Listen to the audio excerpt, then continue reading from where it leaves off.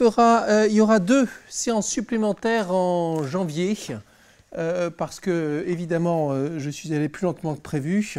Et donc, on continuera en janvier.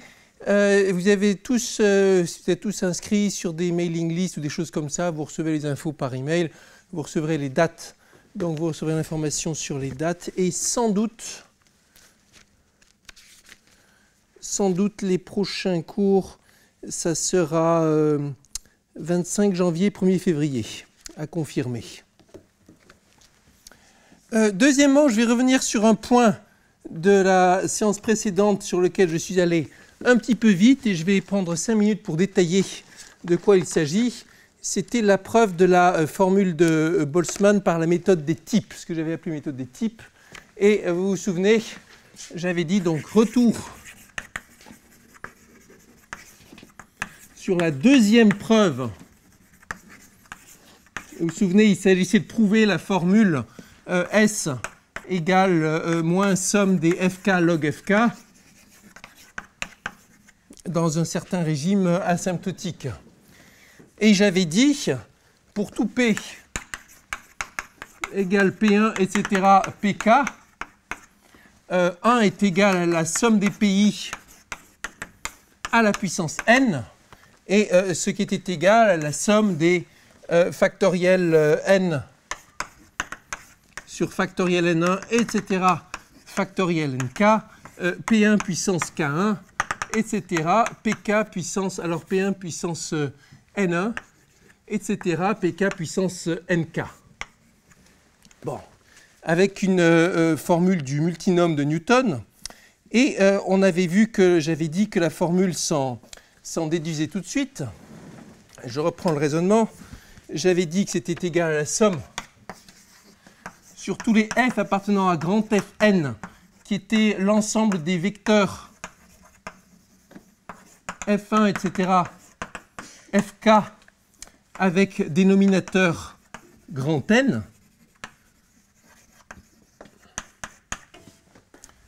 des euh, wn de f et puis euh, ici, on va mettre euh, P1 puissance NF1, PK puissance NFK. Bon, euh, avec WN de F est égal à factoriel n sur facteur NF1 factoriel, etc., NFK factoriel. Bon.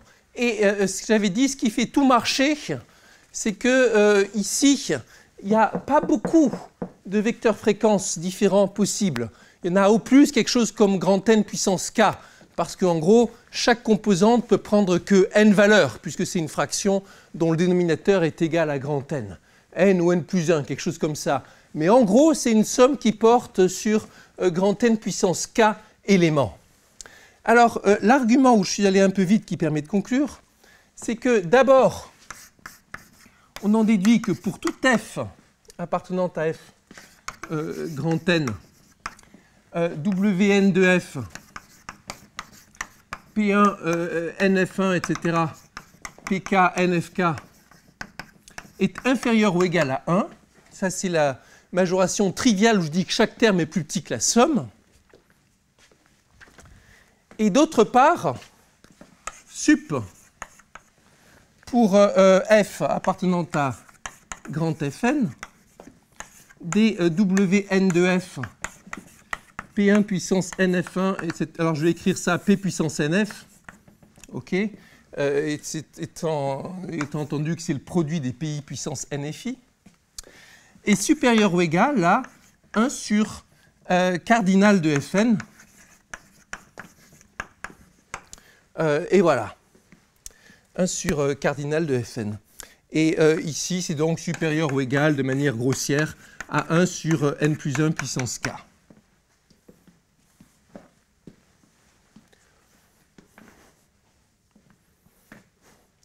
Et alors, ce qu'on fait ensuite, c'est que on va particulariser la première inégalité f égale p, pas de souci, c'est vrai pour tous les f, a priori c'est vrai pour p. Et c'est pour la deuxième qu'il faut justifier, c'est là que je l'ai juste admis. Et c'est un truc que je vais juste euh, insister parce que c'est bon à savoir. Bon à savoir, c'est que le max, le sup, est atteint pour f égale p. Je veux dire donc fi égale pi, quel que soit i.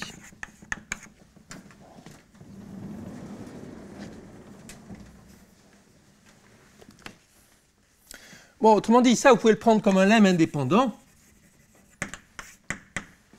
Ben, quand vous regardez euh, factoriel n sur, euh, euh, on va l'écrire comme ça, n1, etc., nk, p1 puissance n1, etc. Alors f1 puissance n1, non, p1 puissance n1, etc., euh, pk puissance euh, euh, nk. dans le cas où pi est égal à mi sur grand N, est maximal pour ni égale mi, quel que soit i manière équivalente, Wn de f, euh, P puissance Nf, est maximale pour f égale P. Lemme complètement indépendant de toute question d'entropie et tout ça. Et euh, euh, qu'est-ce qui vous dit ce lemme?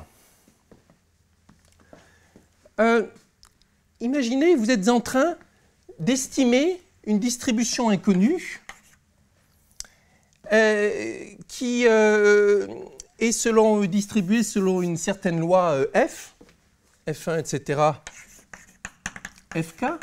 Ça, c'est les fréquences d'apparition de valeur 1, valeur 2, etc., valeur k. Vous ne connaissez pas le vecteur fréquence f selon lequel sont tirées vos observations, mais tout ce que vous voyez, c'est l'observation P. Et vous vous demandez, connaissant P, qu'est-ce que je vais choisir comme valeur probable de F Dans une approche de maximum de vraisemblance, si ça dépend d'un paramètre θ, vous allez choisir le paramètre θ tel que la euh, valeur de la, la, fonction de vraisemblance, quoi, la densité, soit maximale, le θ qui maximise l'observation. Ici, l'observation, c'est tout le vecteur. Et ce que ça dit, ce lemme, c'est que si vous appliquez le maximum de vraisemblance à cette situation, où le paramètre, c'est la probabilité tout entière, ben votre estimateur, il est trivial. Le meilleur choix que vous puissiez faire, c'est prendre f égale p. Prendre les fréquences égales à celles que vous observez. Le meilleur choix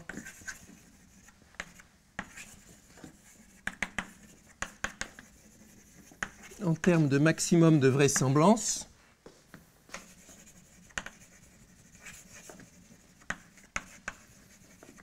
pour le vecteur inconnu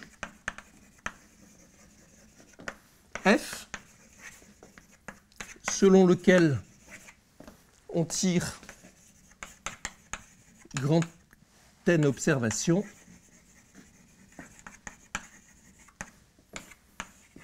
et euh, f égale p. Autrement dit, si vous voulez, euh, l'estimateur euh, euh, si vous voulez, euh, f chapeau de P égale P. On peut l'écrire comme ça. Paramètre, c'est euh, f ici, c'est-à-dire toute la loi. P, c'est l'observation. Et le meilleur choix que vous pouvez faire, c'est juste le choix trivial où je garde le truc égal à lui-même.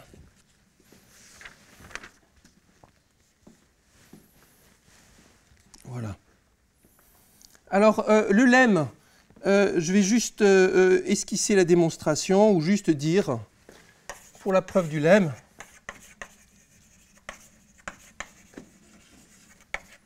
on prend le max, prenons le meilleur n,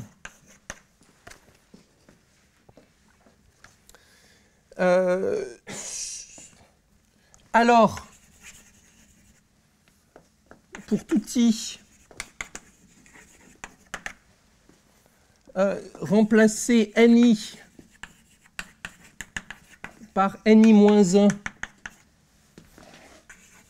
et nj par nj plus 1, pardon, pour tout i et j, et nj par, est un moins bon choix,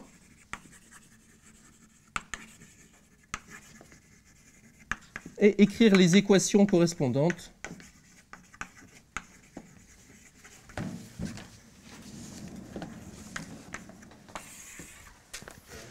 Et euh, en déduire. Et vous allez trouver, euh, je vous donne la solution, NJMI, pardon, NIMJ, inférieur ou égal à NJMI plus MI. Et euh, comme ça, c'est quel que soit I, quel que soit J. Et puis, avec un peu de travail, vous en déduirez que euh, NI égale, et ça c'est quel que soit I, quel que soit J. Et avec un peu de travail, vous en disiez que NI égale MI, quel que soit I. Autrement dit, vous faites un, raisonnement de type équation de... vous faites des variations selon chaque direction et vous vérifiez que euh, vous cherchez à établir l'équation euh, qui correspondrait à gradient f égale 0 si vous regardiez le maximum d'une euh, fonction, ou gradient f égale constante si vous regardiez le maximum d'une fonction sous une contrainte que la somme des composantes est égale à une certaine constante. Ici, vous êtes en train de faire un raisonnement juste de type calcul des variations avec plusieurs variables. Sous contrainte, la seule subtilité, c'est que c'est avec des entiers au lieu que ce soit avec des réels. Voilà. Alors, donc ça, c'est bon à savoir. Et une fois que vous avez ça, comme j'avais dit la dernière fois, vous en déduisez la euh, majoration qui est extrêmement bonne, extrêmement bonne qui vous dit que euh, la, conclusion de tout ça, ça vous dit que quand vous regardez 1 euh, sur n log wn, de P sans cadre entre euh, moins somme des FK log FK et moins somme des FK log FK. Alors c'est moins ou plus, c'est moins moins K log de n plus 1 sur n. Hein, c'est une estimation exacte, pas asymptotique. en un sens, cette deuxième preuve, euh, elle, est, euh, elle, est, bien meilleure que celle basée sur Stirling parce qu'elle est plus économe et elle donne un résultat exact.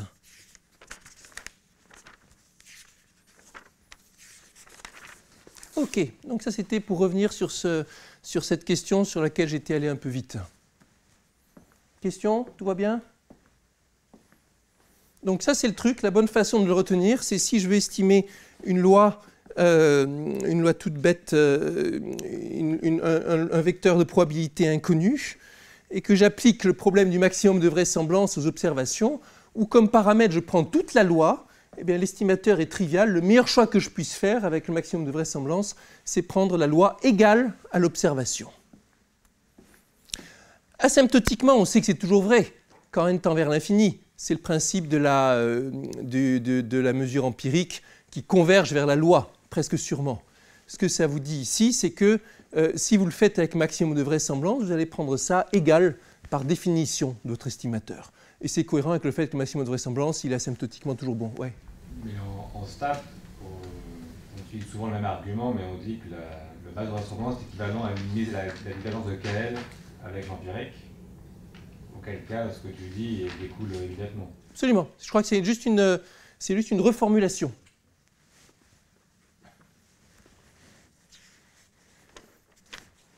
Mais à la, base, derrière, quand c'est discret, il y a ce petit lemme, il y a ce petit qui est un truc euh, euh, incontournable avec juste, des, avec juste des entiers.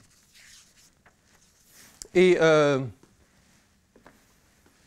ici, ce qu'on trouve, c'est une divergence. quand on le réécrit avec les, avec les PK derrière, ça va donner la, donner la divergence. Alors, on va arriver maintenant, on va arriver maintenant au, cœur de l'affaire sur la rencontre entre les différents domaines. J'avais fait une grande brosse, une grande. Euh, ah, elle est là. 1, 2, 3, 4, 5, il y a 6 brosses ici.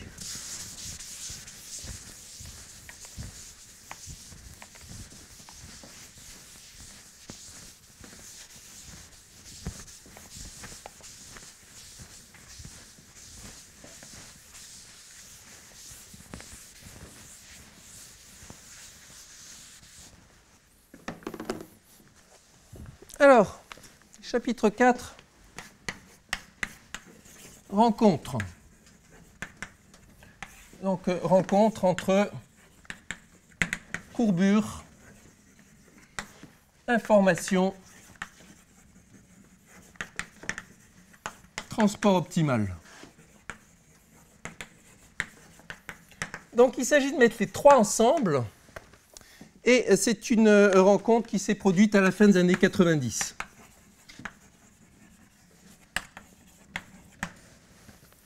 Et je vais commencer par parler de quelques euh, précurseurs.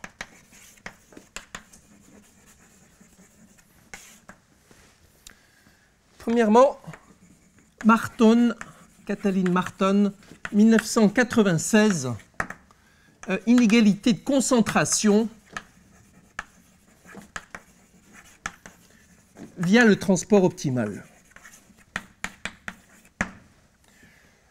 Concentration, c'est le phénomène par lequel euh, presque tous les points sont pas trop loin d'un ensemble de mesures strictement positives ou de manière quantifiée. Si je prends un ensemble de mesures, disons, demi, les points sont jamais très loin de cet ensemble. Et euh, c'est l'un des domaines qui a euh, lancé la, concentration de la mesure, une des questions qui a lancé le lien entre courbure entre euh, courbure, inégalité géométrique et tout ça, avec en particulier euh, Lévy et l'inégalité de Lévy-Gromov dont je vous parlais dans une autre séance. Alors, 1996, Marton comprend que la concentration, ça se traduit facilement en termes de transport et on peut le comprendre simplement. imaginez que vous avez un ensemble grand A dont la probabilité est, mettons, supérieure ou égale à 1,5. Bon. Et euh, demandez-vous euh, quelle va être la probabilité de l'élargie de A avec un élargissement de taille epsilon?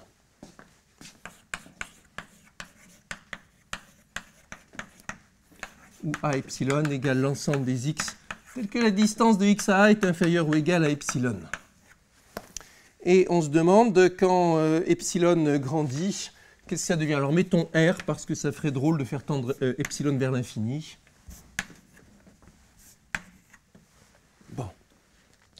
Alors comment aborder ça euh, en termes de euh, transport? Si on a une inégalité du style distance de transport, alors on va mettre ici W2 entre mu et nu inférieur ou égal à constante euh, racine carrée h nu de mu. Mettons, euh, pour avoir la bonne normalisation, euh, c égale racine de 2 sur lambda pour être cohérent avec la gaussienne.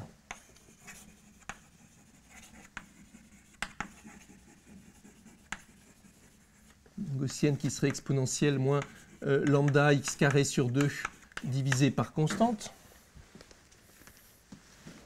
Bon, si on a une inégalité comme ça, moralement, ça dit euh, à quel point c'est facile ou difficile de transporter toute la mesure mu sur nu en tenant compte de la façon dont euh, mu diverge de nu, au sens de la densité. Et, cette quantité-là, par exemple, si on a une euh, information sur la densité de l'un par rapport à l'autre, on pourra la contrôler.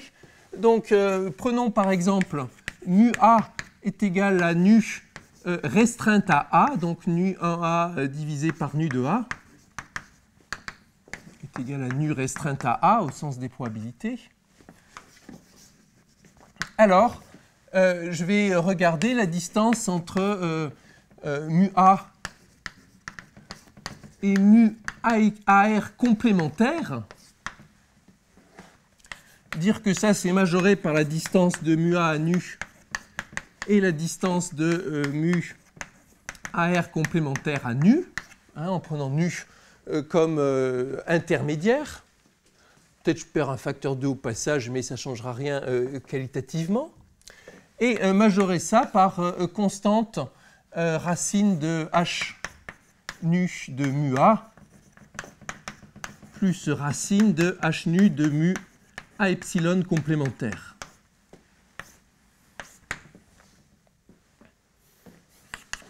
Bon, qui vaut, si on ne dit pas de bêtises, racine de logarithme 1 sur nu de a plus racine de logarithme 1 sur alors nu de A epsilon complémentaire qui vaut 1 moins nu de A epsilon.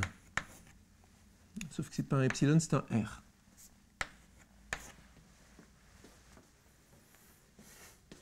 Bon. Et comme d'autre part, il est clair que pour transporter toute la masse de A au complémentaire de l'élargie de A, chaque euh, grain de masse doit parcourir une distance au moins R. Euh, cette distance est évidemment supérieure ou égale à R.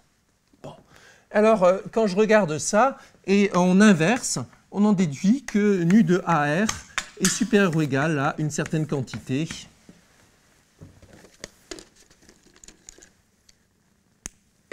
La bonne quantité, c'est 1 moins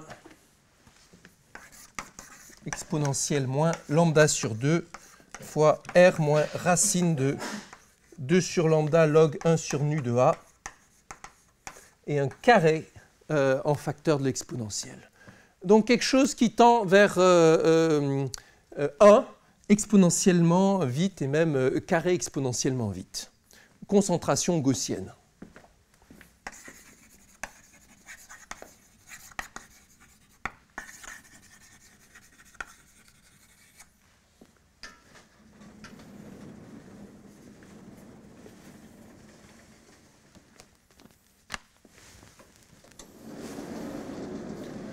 Donc ce qu'on voit sur cet exemple, c'est qu'une information de type concentration gaussienne, on peut l'encoder dans une inégalité comme ça, qui dit que W2 est inférieur ou égal à constante fois racine carrée de l'information relative. Euh, ça a été euh, plus tard euh, généralisé, redéveloppé, en particulier il y a un théorème plus récent de Gozlan qui dit que c'est équivalent d'avoir ça ou d'avoir de la concentration avec des constantes indépendantes de la dimension quand vous regardez le produit euh, euh, tensorisé, nu tenseur n. Donc c'est une euh, façon efficace, fonctionnelle, de coder tout un profil de concentration.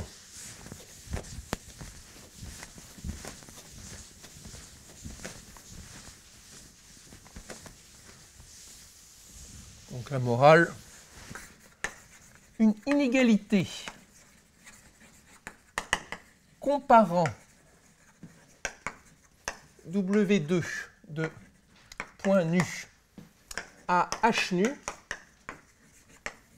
est un moyen efficace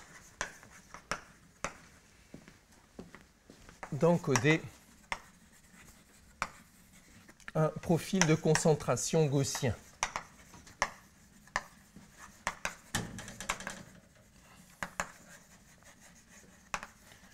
Comme je vous disais, ça a été euh, généralisé et les résultats les plus marquants, c'était ceux de Nathalie Gozlan. Et puis, euh, ça, ça démontre rien, mais comme traditionnellement la concentration s'était abordée avec des euh, outils liés à la courbure, le fait qu'il y ait ce lien, ça indiquait quelque chose de, un, lien entre courbure et, transport optimal. Deuxième précurseur, Macan 1997. Euh, qu'on va reformuler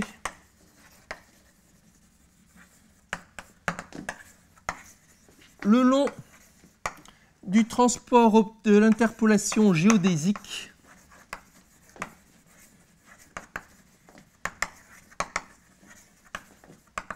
pour W2 donc distance du transport optimal avec exposant 2, on se place dans Rn. Euh, alors, Hn nu, ce que j'avais appelé Hn nu, hein, vous vous souvenez? Hn nu de mu est égal à l'intégrale de euh, un de ρ des nu, où ρ égale des sur des nu, et un de r est égal à nr 1 moins r moins 1 sur n. Bon, Hn nu est convexe si et seulement si euh, grand N est supérieur ou égal à petit n.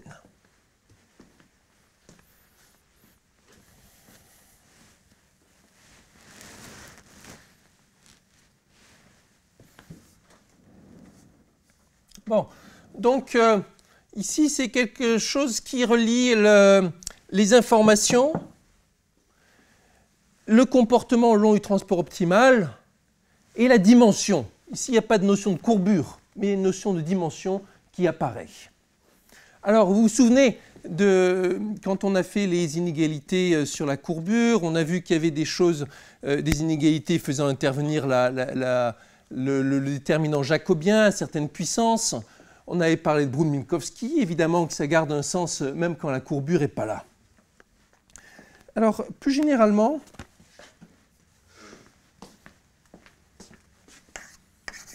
McCann, plus généralement, vous dit que euh, intégrale de U de ρ des nus est convexe le long des géodésiques du transport optimal,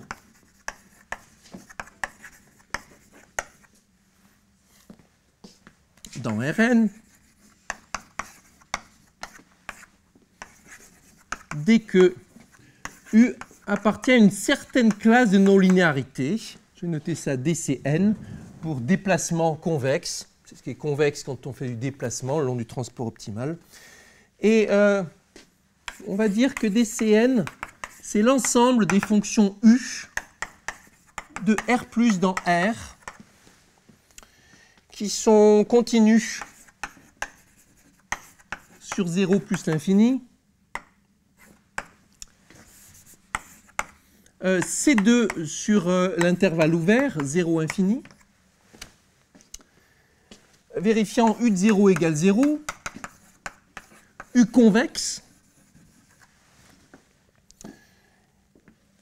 et tel que une certaine condition est vérifiée, pour l'instant c'est juste des choses générales, hein. je demande que ça vaille 0 en 0, que ce soit convexe, que ce soit euh, régulier à l'intérieur pour les, pour les R strictement positifs, il n'y a rien de particulièrement frappant. Et la vraie condition de structure, elle arrive ici, et elle dit que euh, R puissance n, U de R puissance moins n est convexe. Quand n égale infini, ça, il faut le lire comme exponentielle r, u de exponentielle moins r.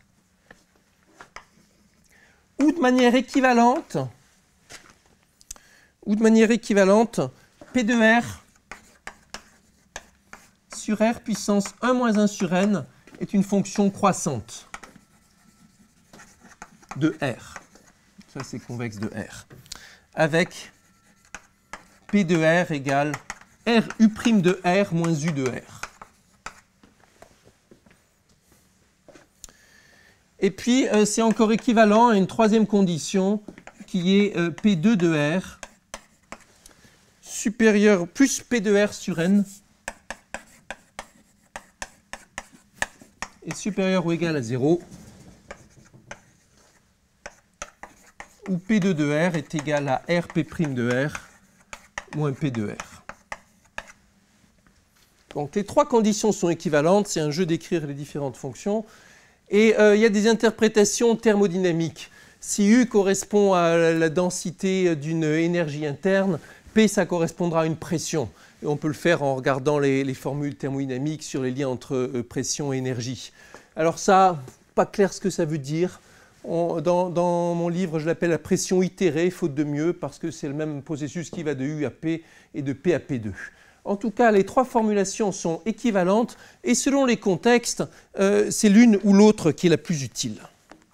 Et euh, ce que McCann montre donc, c'est que dès que la non-linéarité est dans cette classe, et donc l'exemple typique, c'est UN, euh, lui c'est l'exemple, lui c'est le représentant, si on veut, emblématique de DCN, eh bien la propriété est vraie.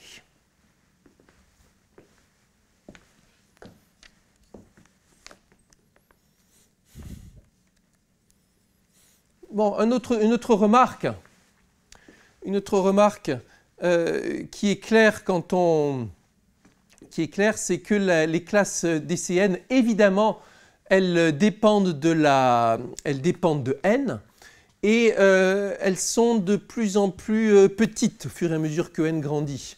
Plus contraignant, c'est DC infini, le plus grand, c'est DC1, et euh, euh, donc vous avez euh, comme ça, plus la dimension grand N est élevée, moins vous avez de fonctions. Ce qui est logique parce que ça correspond, si on veut, à des contraintes supplémentaires. À des, ouais, à des contraintes, c'est exactement le contraire de ce que je voulais dire, fur et à mesure que euh, votre borne n augmente, on s'attend à ce que les, choses soient de plus en plus, euh, euh, soient de moins en moins contraignantes, et ça correspond à une classe de fonctions qui est de plus en plus resserrée. Une classe de fonctions d'essai de plus en plus resserrée, de moins en moins de conditions, de moins en moins de fonctions qui sont convexes. Bon, ça c'est le deuxième préliminaire. Et puis on va mentionner un troisième préliminaire important qui arrive aussi à la fin des années 90, qui lui est plus diffus.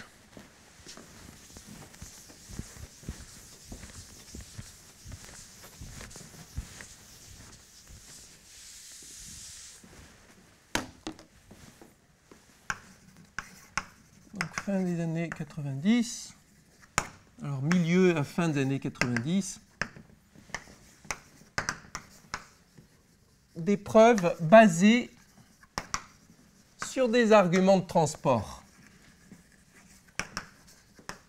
Des preuves de choses qui d'habitude se prouvaient sans transport, preuves d'inégalité fonctionnelle.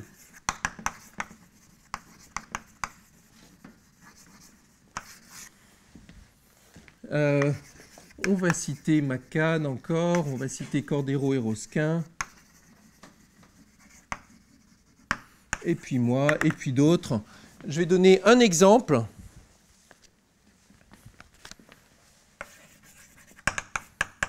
Exemple prouvé, euh, ce qu'on appelle euh, souvent le théorème de Bakry-Emery dans Rn,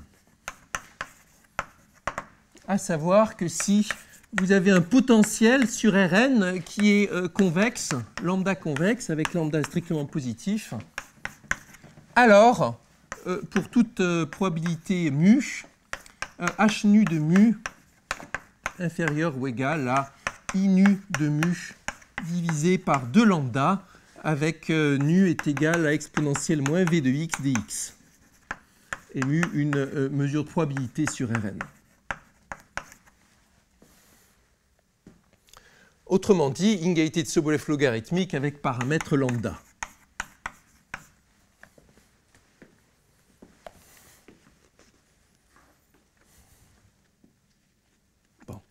Alors, euh, comment on va faire ça par transport? Allons-y. Faisons la preuve. Ben, je prends une euh, densité. Alors, laissons tomber le cas où il y a de la singularité. De toute façon, euh, on aura des, quantités infinies. Donc, on garde que ρ de x dx. Et on regarde le transport optimal vers exponentielle moins v de x dx.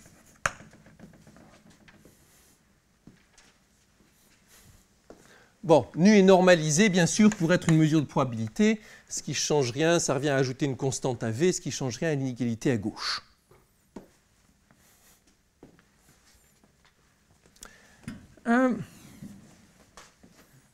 Donc euh, sans perte de généralité, z égale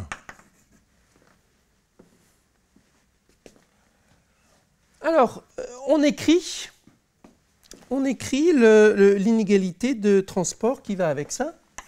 Et ça va nous faire ρ de x égale exponentielle moins v de t de x, que je vais écrire, euh, ouais, je vais écrire ça comme ça, d'abord, déterminant dt de x, où t est le transport, et je vais écrire t de x égale x plus gradient psi de x, pour insister sur psi, gradient psi qui est le déplacement. Bon. Hein, L'identité jacobienne.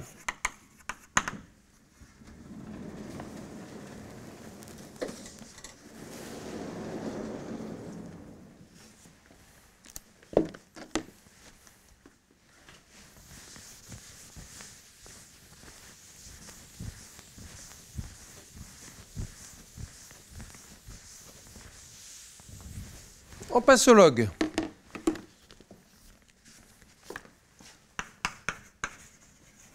rho de x est égal à moins v de euh, x plus gradient psi de x euh, plus log déterminant euh, identité plus d de psi de x.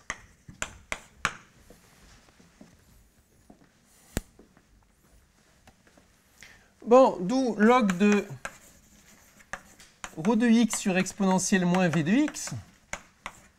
Je suis en train de former ici la densité euh, relative entre la mesure mu et la mesure nu est égal à euh, v de x moins v de x plus gradient psi de x plus log det identité plus Sn psi de x.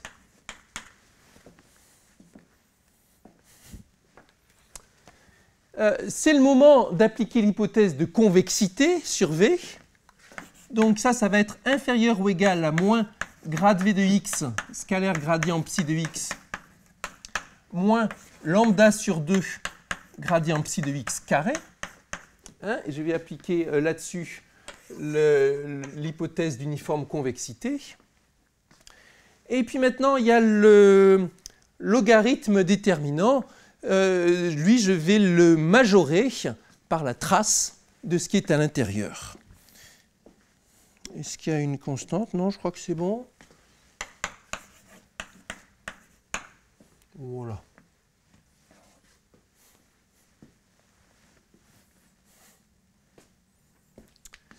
Ouais, là je suis en train de regarder logarithme du produit des 1 plus euh, euh, lambda i et de euh, majorer ça par la euh, somme des lambda i.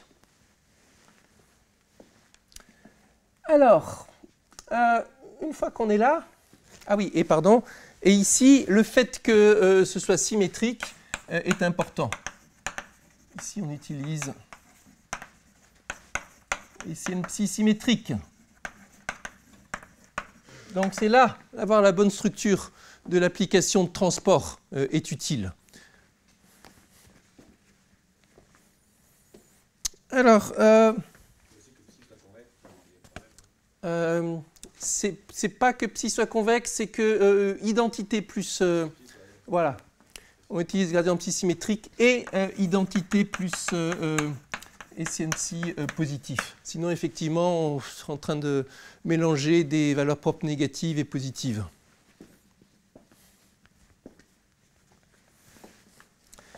Bon, alors euh, maintenant qu'on en est là, qu'est-ce qu'on va faire? Ben, On va intégrer intégrale de rho de x log euh, rho de x sur exponentielle moins v de x dx est euh, inférieur ou égal à moins l'intégrale rho de x grade v de x scalaire. alors est-ce que... Attendez, peut-être que je peux... Si c'est bon, c'est bien comme ça. Gradient psi de x moins lambda sur 2 l'intégrale de ρ de x grade psi de x carré plus l'intégrale de euh, Laplacien psi euh, euh, ρ de x dx.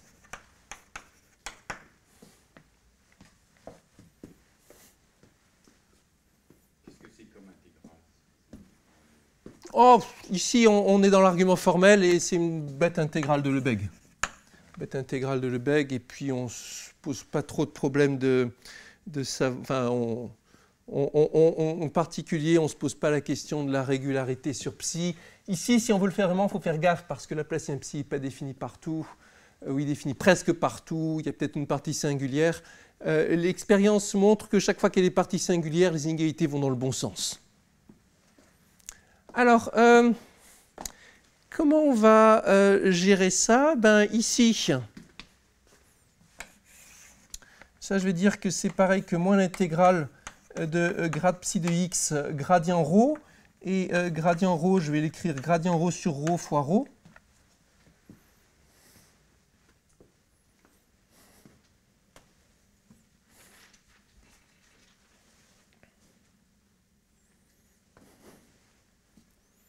Hum. Comment je vais retomber sur mes pieds?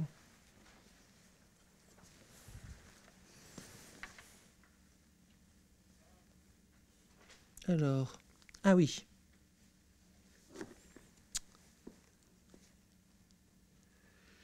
Euh, et...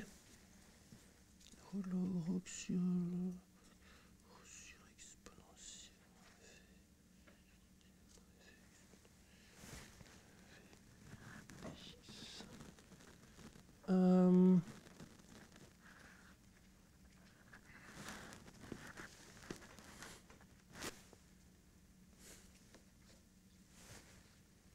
si en gros il y a les ingrédients qui sont là, alors c'est une bêtise de faire intégration par partie, attendez avant de noter. Euh, ici,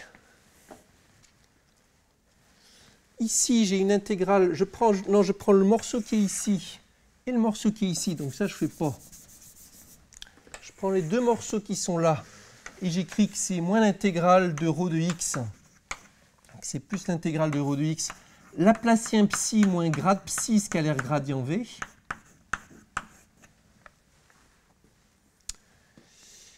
Et euh,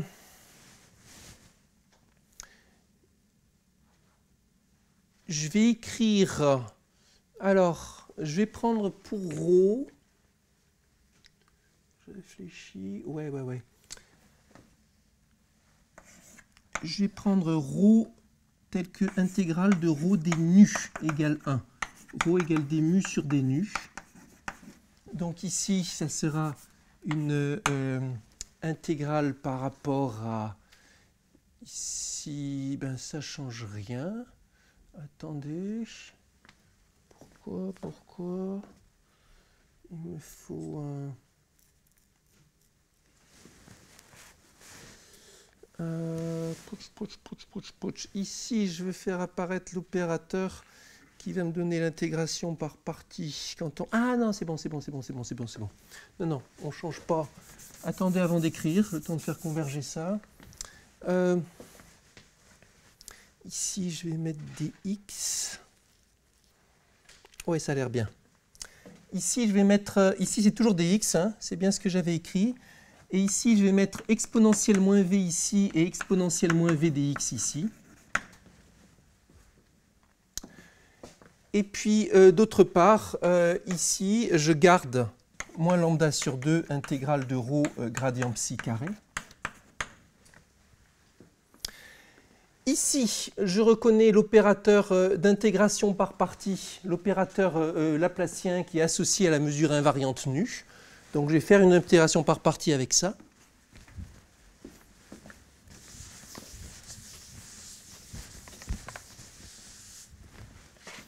Donc ça va me faire moins l'intégrale de euh, gradient psi, scalaire gradient ρ de x sur exponentielle moins v de x, euh, exponentielle moins v de x dx. et puis plus lambda sur 2 intégrale de rho euh, gradient psi carré.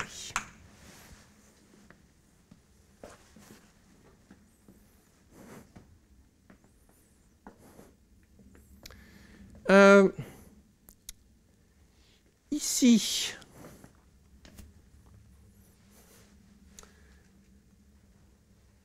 il faut que j'insère un rho. Ça doit aller. Ça doit aller.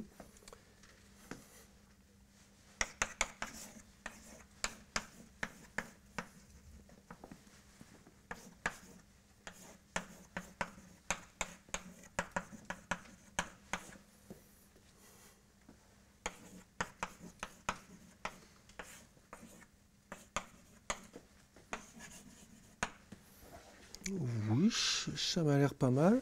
Euh, plus lambda sur 2, intégrale de rho gradient psi carré.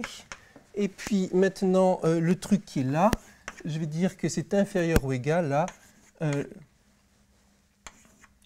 moins lambda sur 2, intégrale de... Alors, alors, alors, alors, alors, il y a un signe qui ne va pas. Ici, c'était un moins.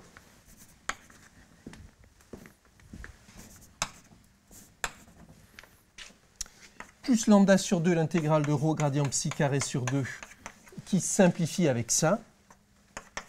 Je le réécris. Tac, tac. Voilà. Et si tout va bien, ce qui reste là, euh, ça va. Donc, il va y avoir un rho et il va y avoir gradient de euh, rho de x sur exponentielle moins v de x divisé par rho de x sur exponentielle moins v de x avec un carré. Et puis, euh, voilà dx. Et normalement, je crois que c'est bon. Je pense que ça, c'est juste. Et alors, il y a un 1 sur 2 lambda, bien sûr, qui vient de l'inégalité de Young. Bon, et si je dis pas de bêtises, euh, là, on a bien, c'est bien ce qu'il nous faut. C'est l'information de Fischer avec, le bon, avec la bonne normalisation.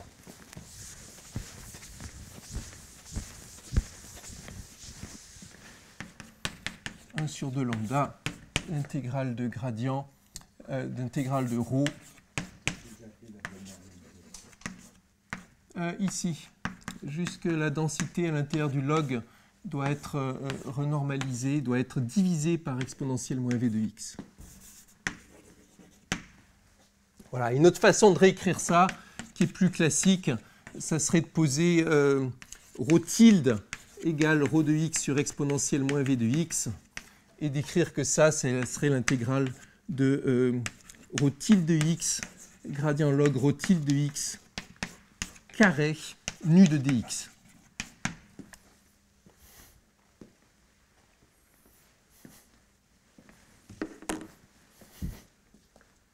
Ou encore 1 sur 2 lambda, euh, intégrale de grade rho de x carré divisé par rho tilde de x, euh, nu de dx. Tout ça, c'est pareil, c'est juste un jeu de, réécriture.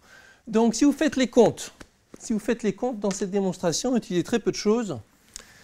Euh, ici, on a utilisé la convexité. Et puis l'inégalité log det laplacien. Après, on a intégré.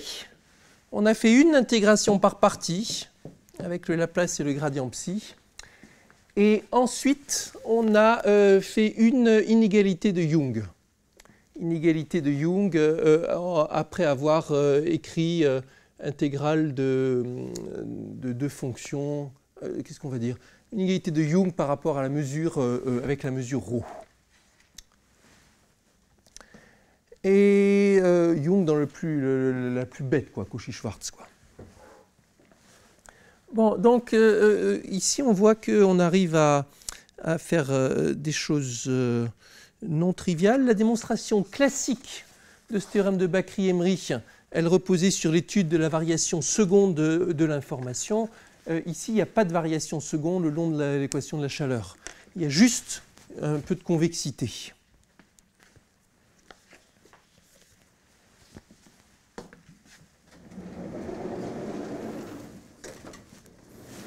Alors, Sobolev logarithmique, ce blef logarithmique, comme je disais la dernière fois, ça a une information à la fois spectrale et isopérimétrique.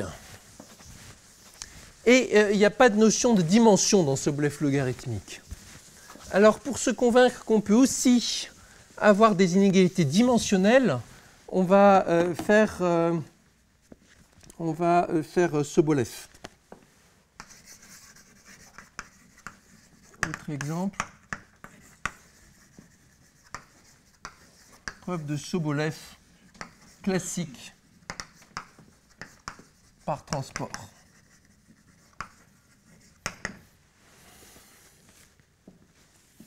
Alors, ρ, une densité de proba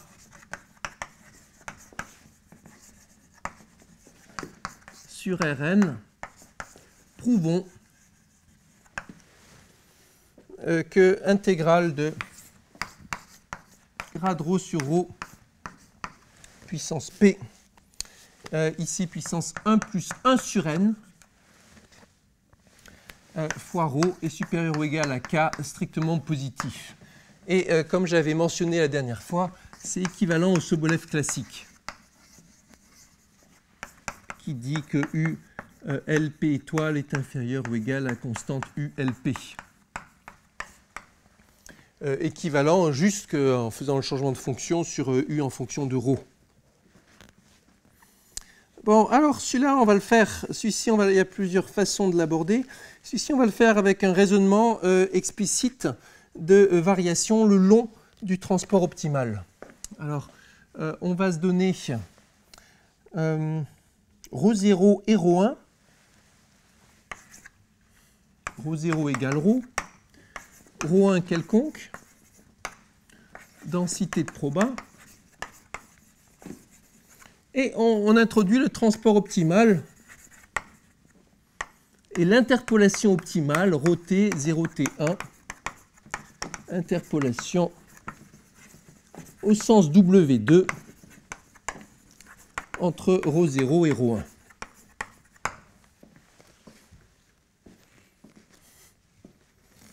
Euh, allons-y formellement.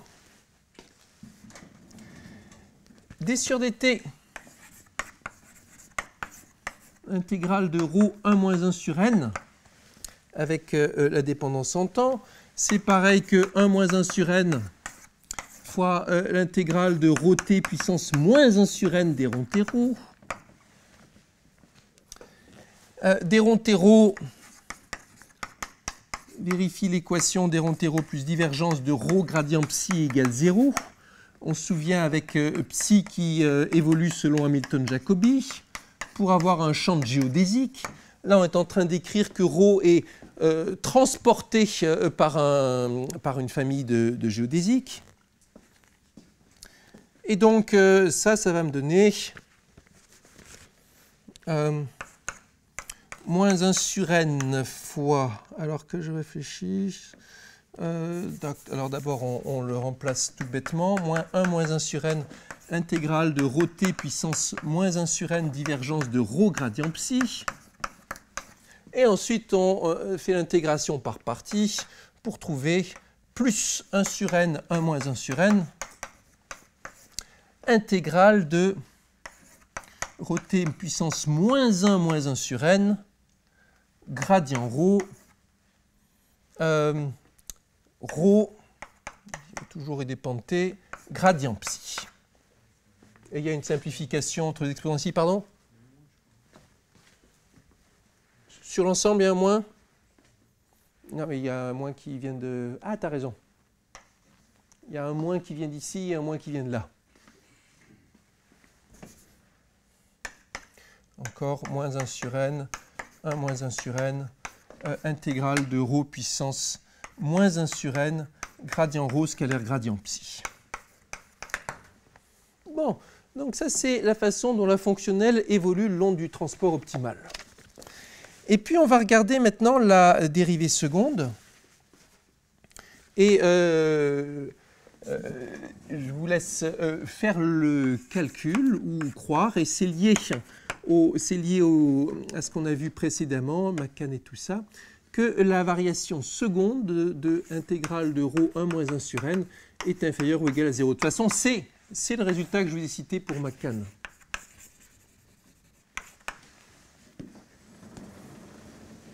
Bon.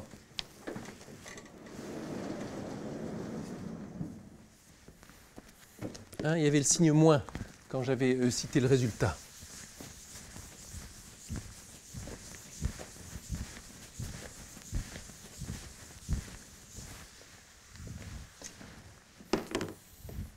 Bon, quand j'ai une fonction euh, dont la dérivée euh, seconde est négative, euh, je peux contrôler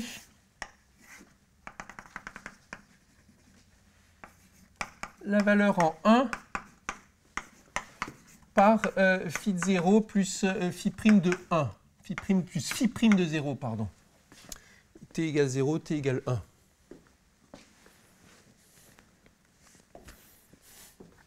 Alors on écrit ce que ça donne. Et on trouve que, alors, intégrale de ρ1 puissance 1 moins 1 sur n est inférieure ou égale à l'intégrale de ρ 0 puissance 1 moins 1 sur n plus 1 moins 1 sur n euh, plus 1 euh, sur n, 1 moins 1 sur n, il faut un moins, fois l'intégrale de ρ 0 puissance moins 1 sur n, gradient ρ 0, scalaire gradient psi.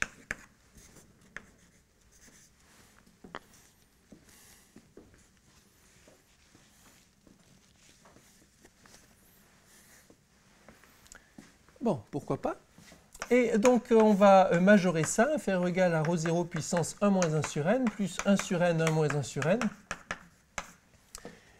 Alors, euh, qu'est-ce que je vais faire ici? Tout ce que je sais, euh, à quoi je sais donner un sens, c'est euh, intégrale de rho euh, gradient psi. Alors, on va mettre ici puissance p, gradient psi puissance p, si on considère l'interpolation pour WP. Ici, j'ai mis W2 mais mettons que ce soit un WQ.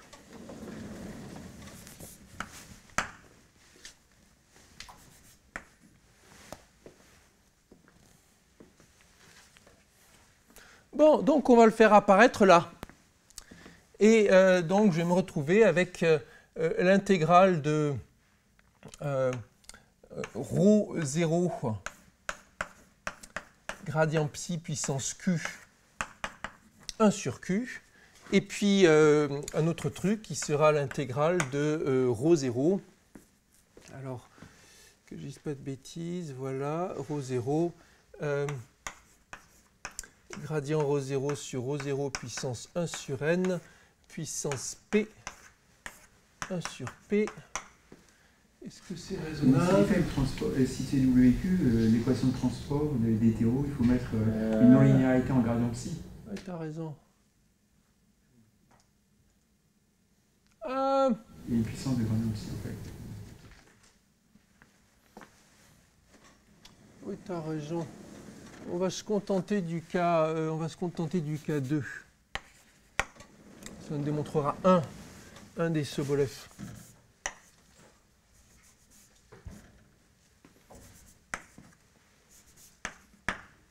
Alors, euh, toc, toc, toc, toc, toc, toc, toc. Gradient.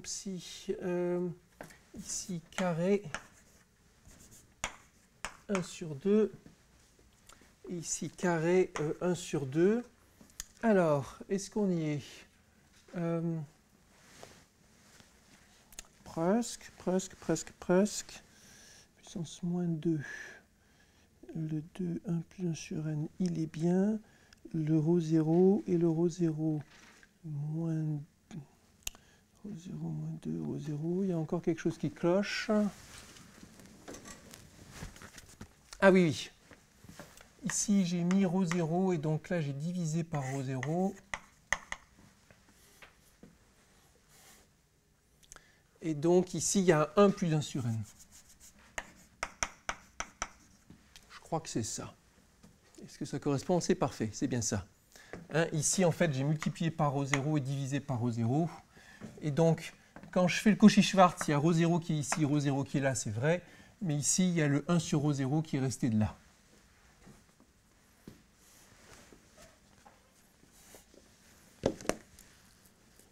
Bon, alors on y est presque. Euh, euh, on y est presque. Ici, c'est W2 entre ρ0 et ρ1. Bon. Et euh, vous allez me dire, ce n'est pas vraiment ce que j'avais annoncé On va s'en sortir avec une astuce.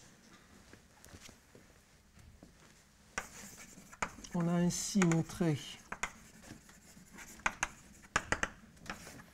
l'intégrale de rho 1, 1 moins 1 sur n, inférieure ou égale à l'intégrale de rho 0, 1 moins 1 sur n, plus 1 sur n, 1 moins 1 sur n, W2 de rho 0, rho 1, fois euh, intégrale de rho 0, gradient rho 0 sur rho 0, 1 plus 1 sur n, carré, racine carrée.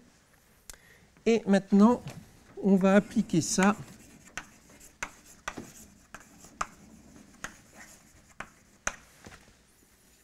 à ρ0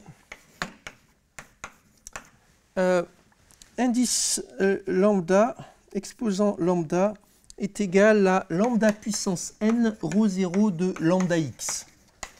Hein, en faisant une euh, dilatation. Et on va faire tendre lambda vers l'infini. Donc c'est comme si on était en train de concentrer vers un Dirac.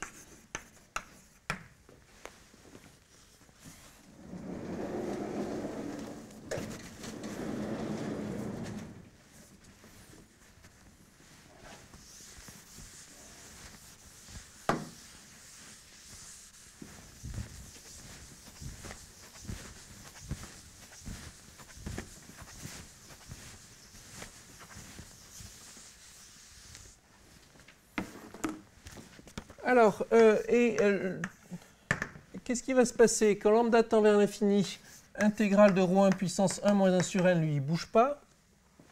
Euh, ce terme-là, il tend vers 0.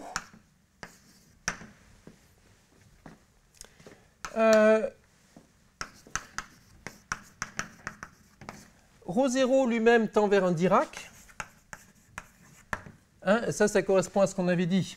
Quand on prend une fonction sous-linéaire et qu'on l'applique à une masse de Dirac, on trouve 0. Euh, ici, le W2 de ρ0, ρ1, ça va être euh, tout simplement euh, l'intégrale de ρ1 de y, y carré, et tout ça avec une racine carrée, qui est la distance entre le Dirac en 0 et ρ1. Et ici, ça, ça ne bouge pas.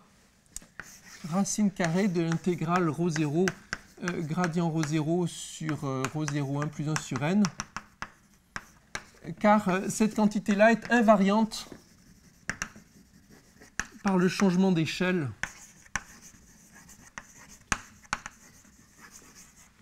euh, ρ donne ρ lambda.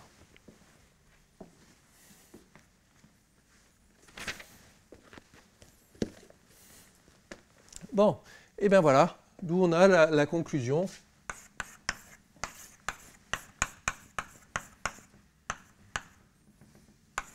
Sur E0, 1 plus 1 sur n est supérieur ou égal à une constante indépendante de ρ 0.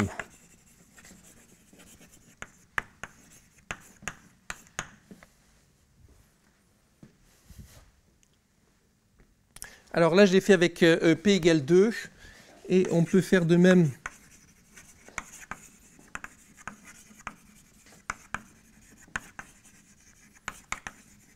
toute valeur de P modulo plus de soins euh, sur l'équation en Béron-Théroux. Il y, a le moment quand même qui est... Non, c'est le moment de roue 1. Roue 1, tu t'en fous, il est, il est fixé, toi qui l'as choisi comme tu veux. Après, on peut optimiser en ρ1 si on veut et ça donnera les constantes optimales. On peut ensuite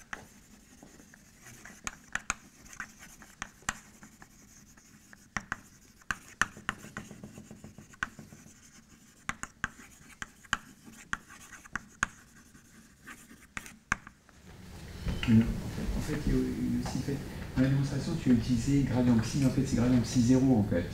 Gradient psi 0 on l'utilise seulement au, seulement au temps zéro. Voilà, c'est ça. Mais il faut aussi utiliser que l'intérieur de ρ gradient psi carré ne dépend pas du temps. Vous trouvez que c'est euh, non, non, non, non, euh, si tu regardais la dérivée seconde, ça, jouerait, mais une fois que, as, une fois que tu connais la, la, la, concavité du bidule, tu utilises seulement la dérivée au temps t égale 0.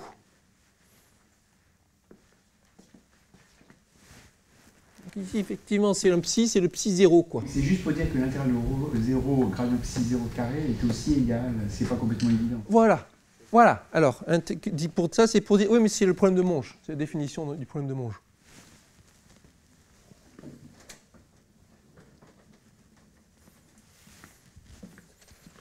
Ici, W2 de ρ 0,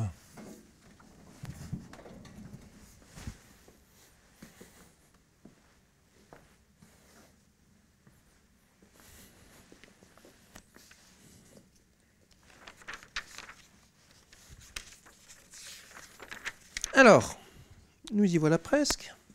Donc, euh, euh, ça, je vous donner deux exemples Sobolev logarithmique par transport, euh, Sobolev classique par transport, et ainsi de suite. Et c'est des inégalités, pareil, qui classiquement font intervenir de la courbure, des bornes inférieures sur la courbe de Ricci, des choses comme ça. Donc, euh, ça, présageait aussi le fait qu'il y avait un lien euh, direct. Alors, les deux articles.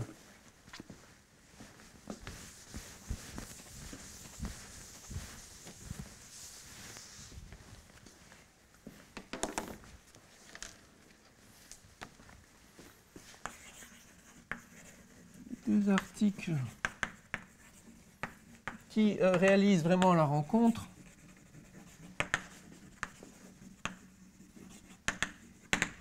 D'abord, il y a un article euh, très influent de Jordan Kinderlehrer Otto, qui ne payait pas forcément tant de mine que ça au départ, il a fallu le temps de le digérer. Et donc ça date de 1998. Et je vais euh, résumer en une phrase en disant le flot gradient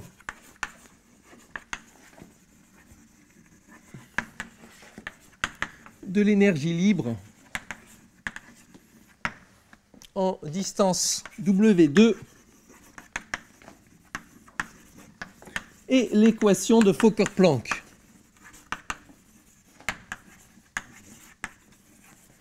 Pardon Eh oui, c'est drôle.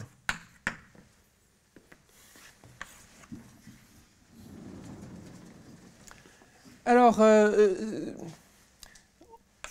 on va dire que plus tard, donc là c'est fait dans Rn, et puis par la suite, ça a été généralisé euh, à un degré inouï.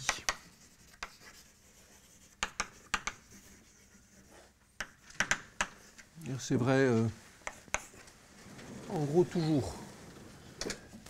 Et on va donc donner un sens.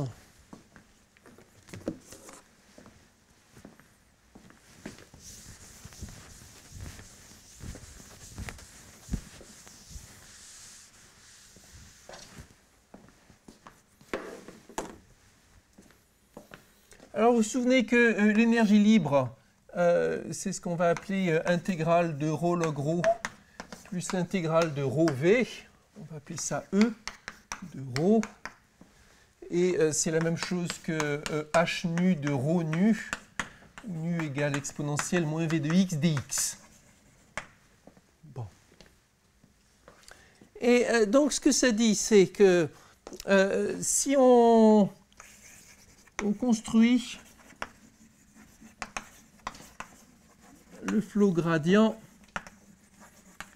par discrétisation en temps, qui est la méthode la plus populaire,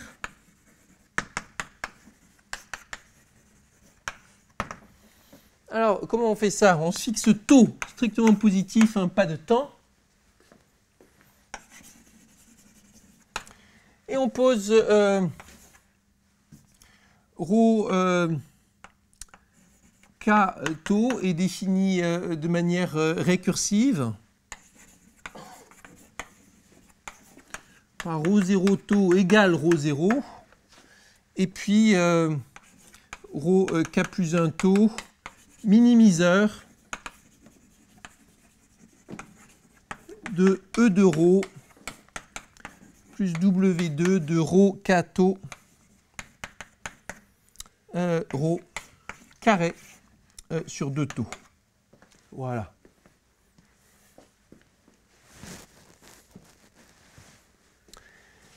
Et ensuite, on dit que euh, rho k plus 1 taux, on appelle ça rho taux de k plus 1 taux. Et rho taux k, euh, rho de k taux. On prolonge euh, pour avoir un rho continu par morceau. Rho taux continu par morceau.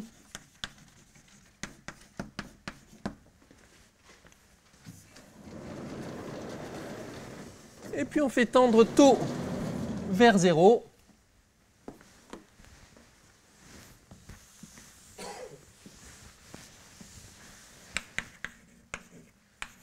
Et alors taux converge vers solution de Dérontero égale Laplacien ρ plus divergence de ρ gradient V.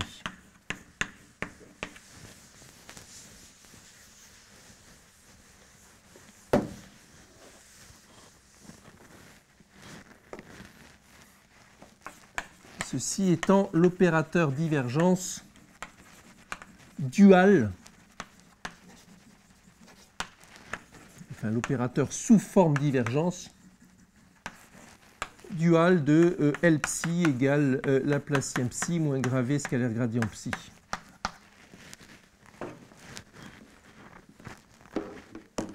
Opérateur qui agit sur les euh, mesures de probabilité.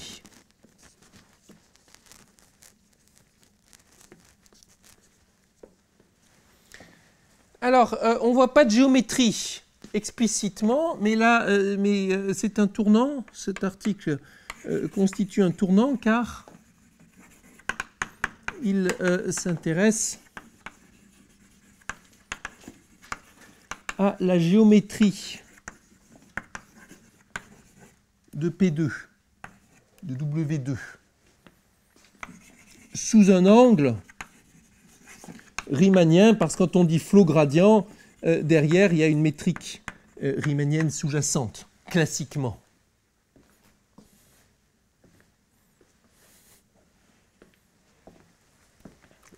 Plus tard, on se posera la question de la nature de cette géométrie. Euh, jusqu'à quel point elle est riemannienne, est-ce qu'elle est singulière et tout ça.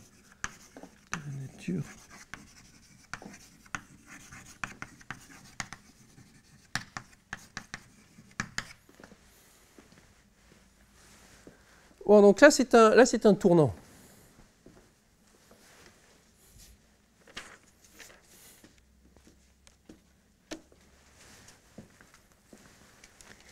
Et euh, l'autre article,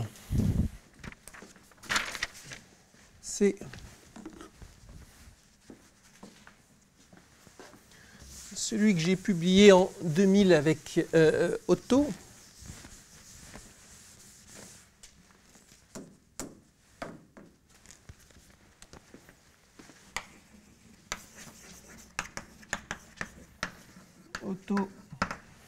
il a mis 2000. Qu'est-ce qui montre Un ensemble de résultats? D'abord, euh, LSI lambda implique euh, inégalité euh, Talagrande lambda avec préservation donc de la constante.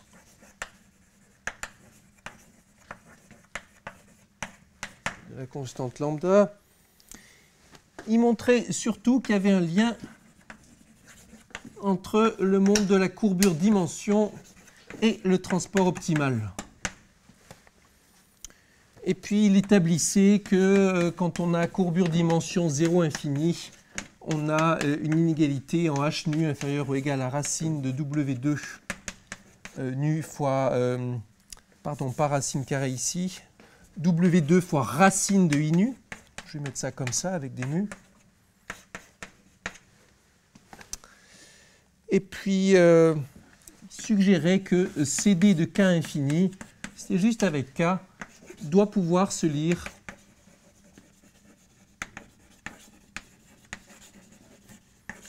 dans la convexité de H nu, dans les propriétés de convexité de H nu. Et c'était le démarrage, le démarrage d'une idée qui a été développée et redéveloppée. Idée lire la géométrie de l'espace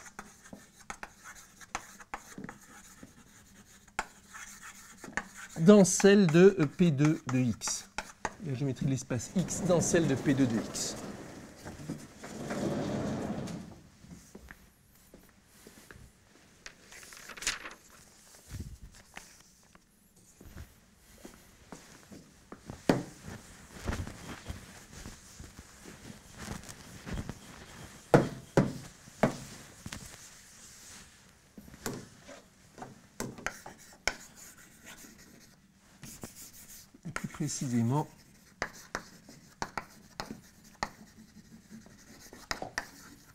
lire la courbure dimension.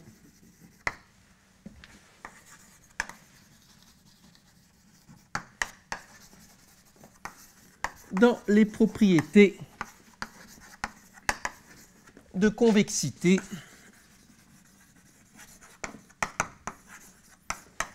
De H nu en euh, géométrie W2. Et euh, les outils euh, techniques qui permettaient de faire ça ont été développés dans la foulée par Cordero et McCann, Schmuckenschläger.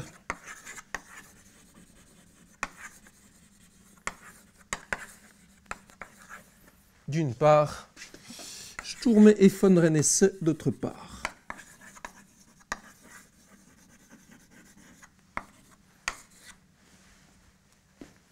Donc là, c'était la, la rencontre.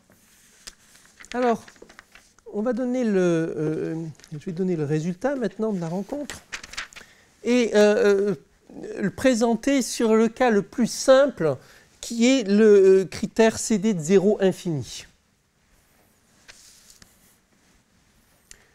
Et puis après, on va compliquer progressivement.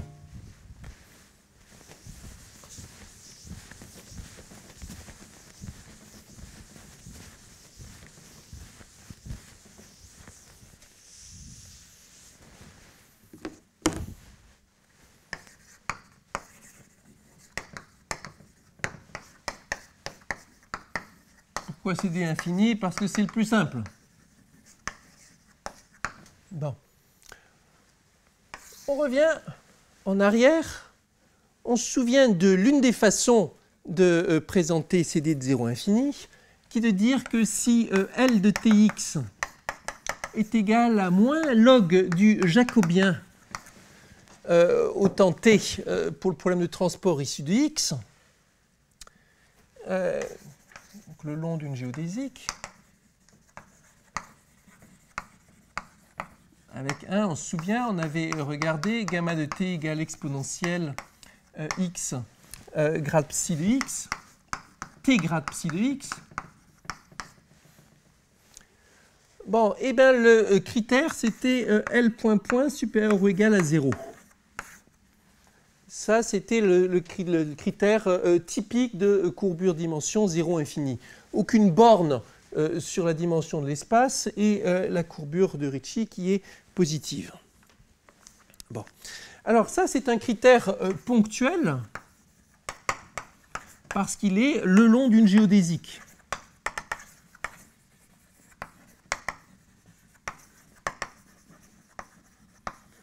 Ou si vous voulez, ou le long d'une euh, famille de géodésiques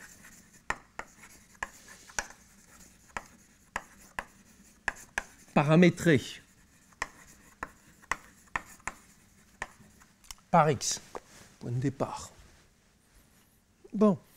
Et la question, ça va être d'intégrer ce critère. Intégrer cette inégalité.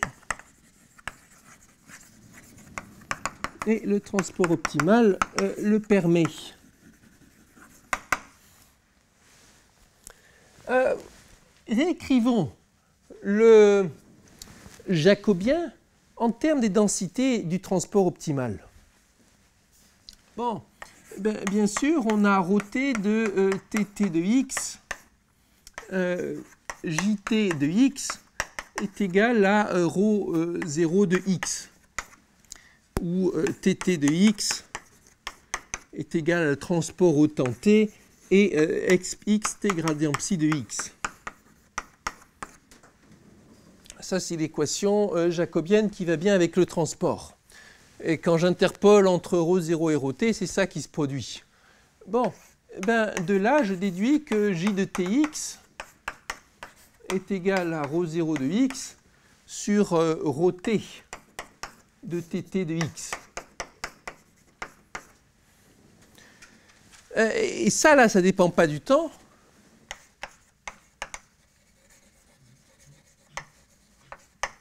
Donc euh, euh, le jacobien, c'est comme si on regarde l'inverse de la densité le long du transport. Bon, juste l'équation, juste l'équation jacobienne. Eh bien, euh, traduisons ce que ça fait en coup de logarithme.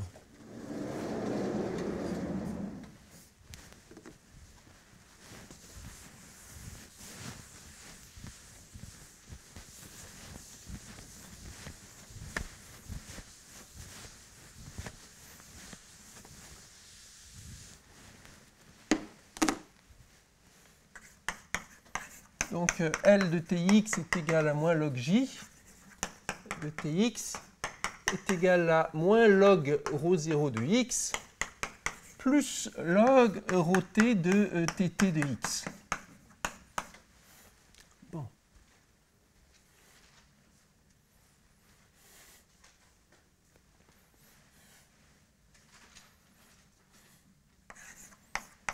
Donc euh, L de Tx convexe en T équivaut à dire que euh, log ρt de tt de x est convexe en T.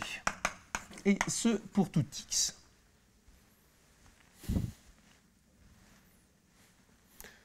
Bon, eh bien euh, j'intègre maintenant. Ça implique que log ρt de tt de x mu0 de dx est convexe en T. Hein, j'intègre une famille de fonctions convexes. de x qui est un paramètre. Et euh, ça, c'est la même chose que l'intégrale de euh, log ρt de y. Euh, tt mesure image mu0 de dy formule du changement de variable. Et donc ça, c'est la même chose que l'intégrale log roté de y muté de dy. Donc c'est ici que tout se joue. On n'intègre pas cette inégalité contre n'importe quelle mesure. On l'intègre contre la mesure rho 0. La même mesure qui fait que quand le changement de variable va jouer, euh, ça va reconstituer roté muté partie du tt ici va reconstituer le muté, l'autre partie reste ici, et on se retrouve avec euh, h de muté, fonction h de Boltzmann.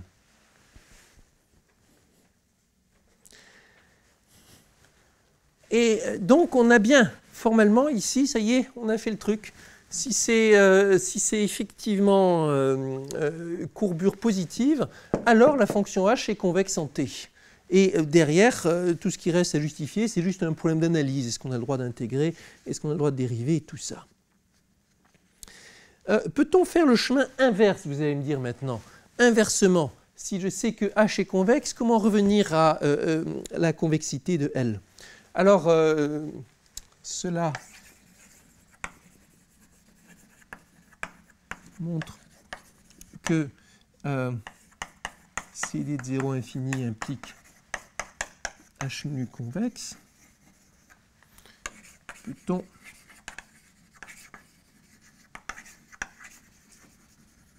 faire le chemin inverse La réponse est oui.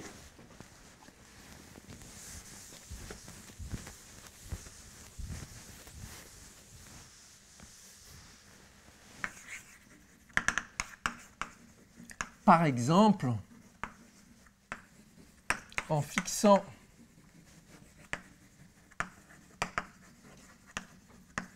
une géodésique minimisante.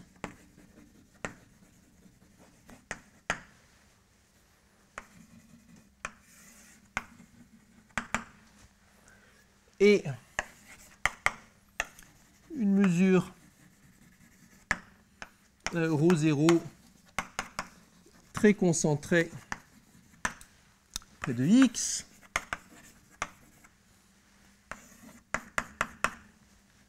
rho 0 ici. Et une autre euh, rho 1 très concentrée près de y.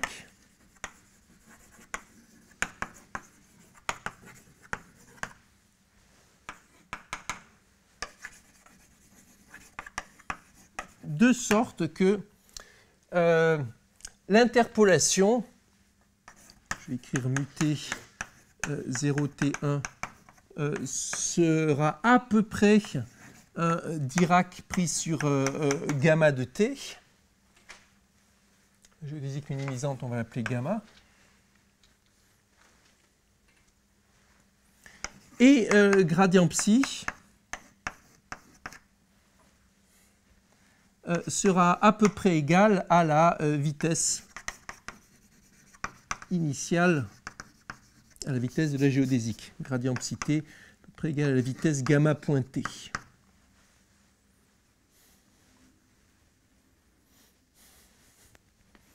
Bon, et quand on écrit, euh, quand on écrit les inégalités, on va trouver que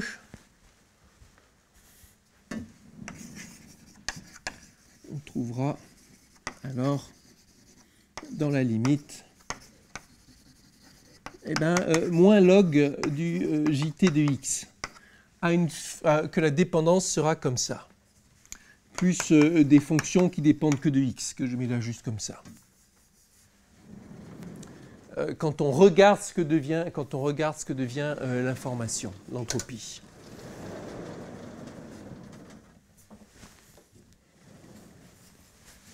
de muter à peu près égal à ça.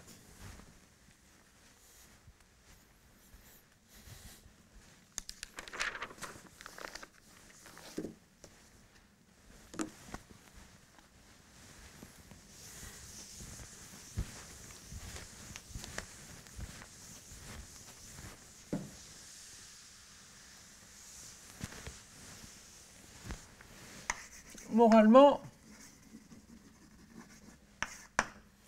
dire que mu0 joue le rôle de euh, quelque chose qui moyenne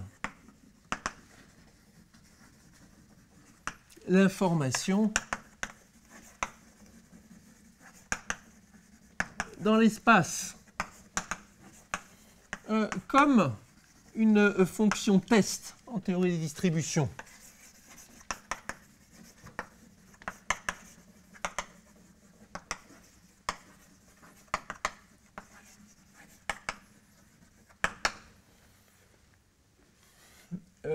plutôt, là, ce serait plutôt mu0 et mu1, disons, le couple mu0, mu1. Et le fait qu'on puisse regarder toutes les directions,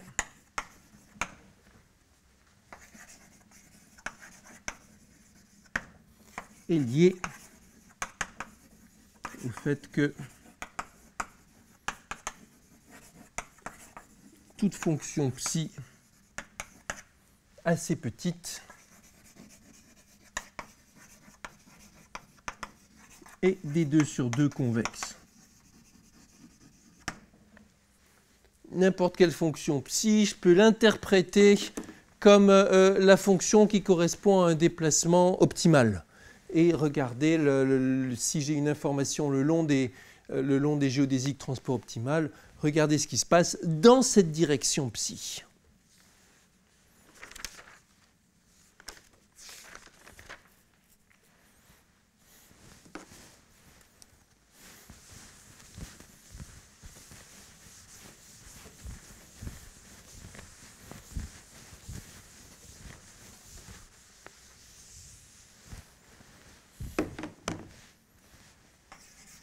Alors, le théorème correspondant se lit ainsi. Donc, théorème. Soit euh, mg nu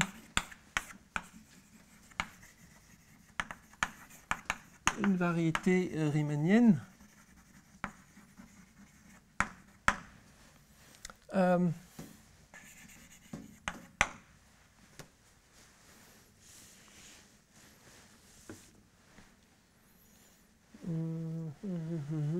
avec nu euh, de dx exponentielle moins v de x volume de dx.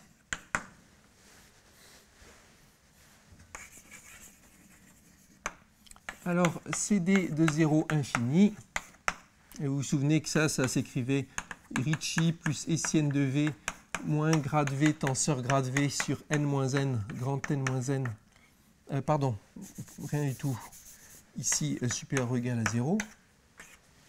CD de 0 infini est équivalent à dire que pour tout mu 0 et euh, mu 1, euh,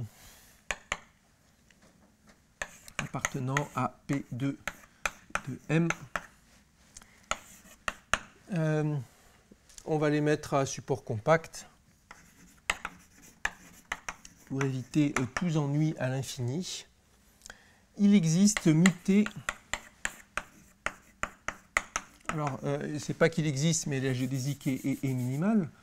La géodésique Alors, je vais les prendre euh, absolument continus ici, sinon, euh, de toute façon, mon entropie sera infinie. La géodésique mutée 0T1 en distance W2 vérifie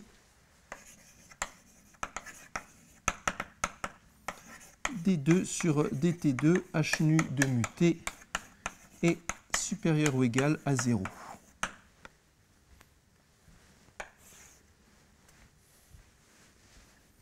Voilà.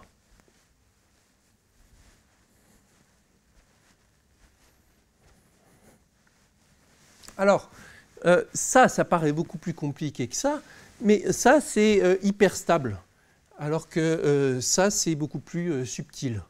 Et donc, ça, c'est euh, une formulation euh, synthétique de courbe positive euh, dont il est devenu de plus en plus clair au fur et à mesure que ça a été étudié, qu'elle remplissait tout le cahier des charges.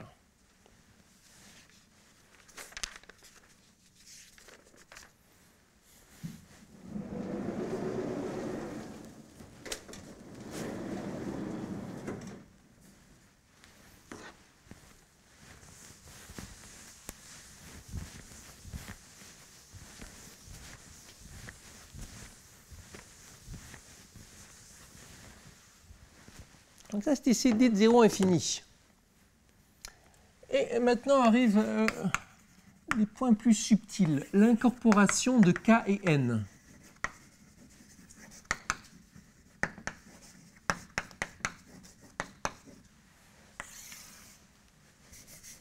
Hein, comment traduire euh, CD de Kn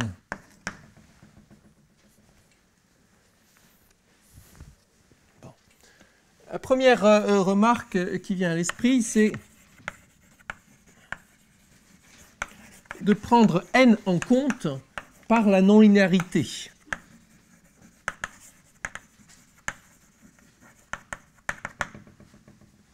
Dans CD de Kn, on a des inégalités différentielles. On se souvient sur D qui était égal à j puissance 1 sur n dans les notations, au lieu de moins log j. Donc au lieu de euh, regarder log, on prend une puissance, et euh, cela revient à remplacer r log r par euh, celui que j'avais appelé nr 1 moins r moins 1 sur n, etc.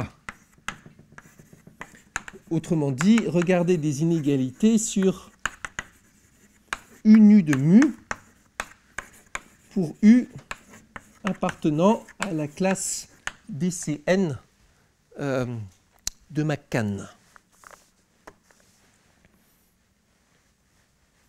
D'où l'idée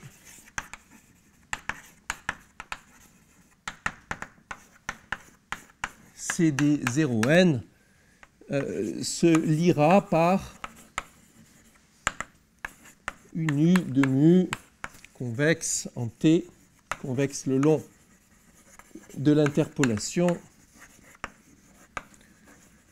Et euh, cette fois pour tout U appartenant à DCN. Bon, donc ça c'est l'idée. Changer la classe de non-linéarité. Au lieu de l'entropie, ce sera typique, au lieu de l'intégrale de ρ log typiquement ce sera moins l'intégrale de ρ puissance 1 moins 1 sur n, ce qui est équivalent à ça, modulo enlever euh, une constante divisée par une constante. Donc ça c'est l'idée.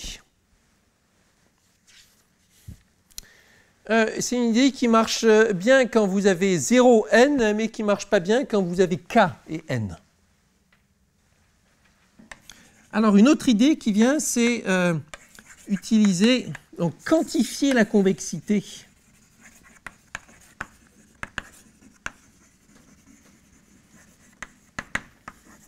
Quantifier la convexité de H nu. Et donc, euh, ça, c'est l'autre idée qui vient, c'est lire euh, CD de K infini par le fait que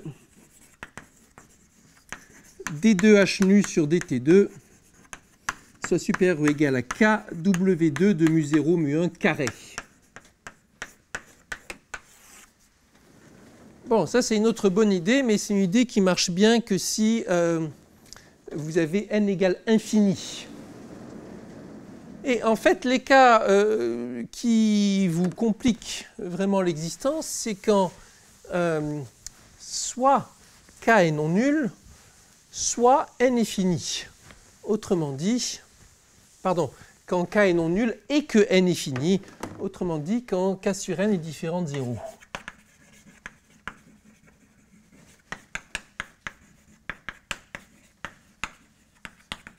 C'est plus complexe.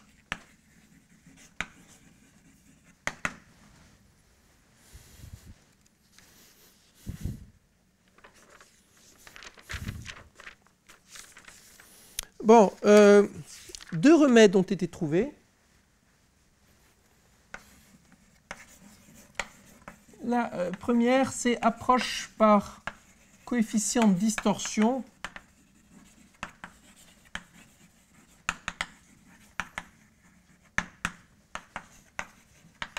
Revient à écrire. Une inégalité de convexité.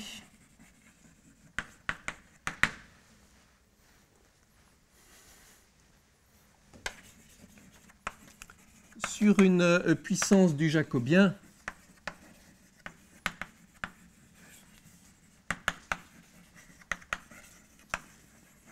Avec des euh, coefficients, euh, qu'est-ce qu'on va dire avec des, avec des constantes multiplicatives.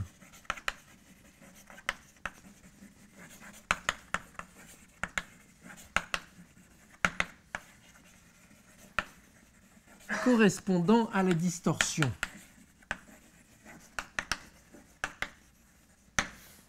Alors, qu'est-ce qu'on entend par là euh, Dans euh, l'arsenal d'inégalités qu'on avait, euh, qui sont équivalentes les unes les autres, ça correspondrait à celle-ci, toujours avec d de t égale j de t x, j'oublie le x, puissance 1 sur n, euh, l'inégalité c'est d de t supérieur ou égal à certains coefficients, taux, euh, avec un, qui va dépendre du paramètre 1 moins t, et qui va dépendre de x et de y, fois euh, d de 0, plus ce taux qui va dépendre lui aussi de x et y, d de 1. Et voilà. Et euh, c'est un certain coefficient qui dépend de la géométrie. Taux t de xy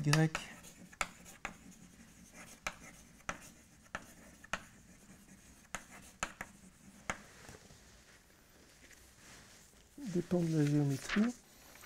Euh, et, euh,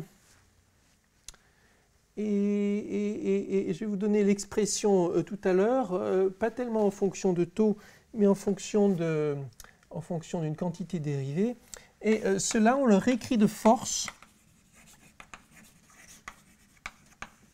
comme une inégalité de convexité. Autrement dit, d de t supérieur ou égal à 1 moins t fois quelque chose. Et le quelque chose, c'est taux puissance 1 moins t de xy sur 1 moins t d de 0 plus t fois le quelque chose qui est taux t de xy sur t fois d de 1. Euh, je me souviens maintenant de ce que c'est que d de t et je passe, aux densités.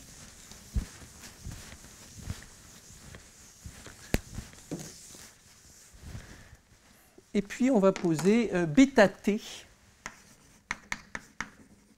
de xy est égal à taux t de xy divisé par t. Et euh, tout ça à la puissance n. À la puissance n, c'est ça.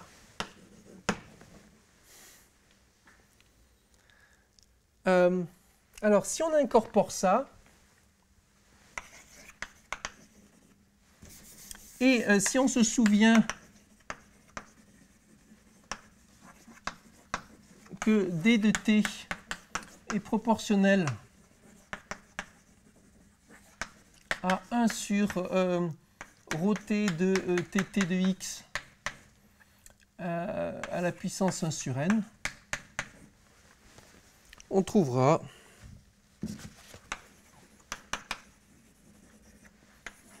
rho de tx puissance moins 1 sur n, rho de tt de x puissance moins 1 sur n,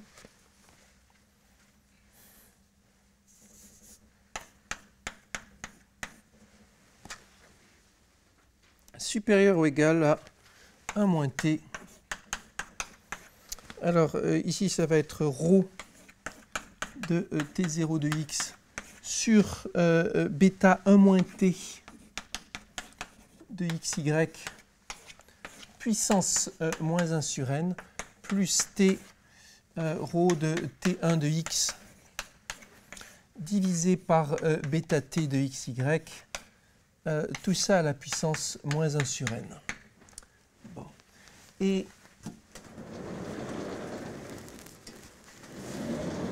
oui, pardon. Et ici le y c'est t1 de x.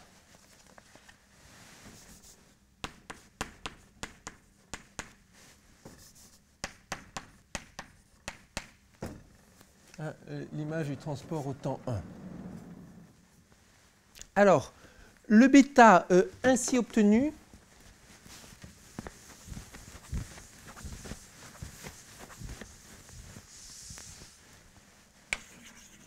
le bêta t ainsi obtenu coïncide avec ce qu'on avait appelé coefficient de distorsion.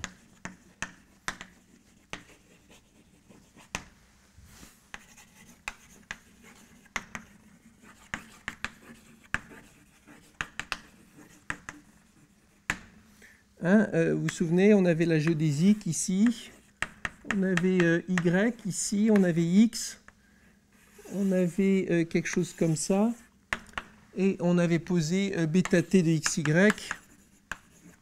est égal à la limite quand R tend vers 0, où R était le, diamètre de la boule ici, le rayon de la boule ici, limite de nu de... alors c'était quoi? C'était le ratio entre euh, l'interpolé et la boule de rayon R, rayon Y, divisé par euh, t puissance n nu de BR de X, de BR de Y.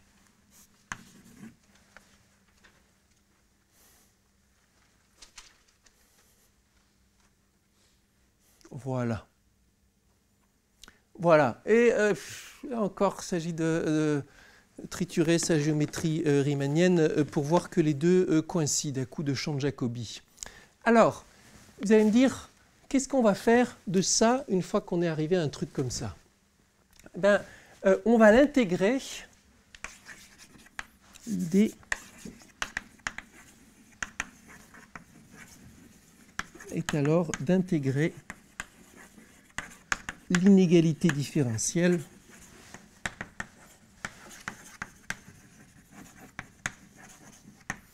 contre grand pi d gamma, la euh, mesure qui est portée sur euh, l'ensemble des géodésiques et qui correspond à l'optimum dans le transport optimal.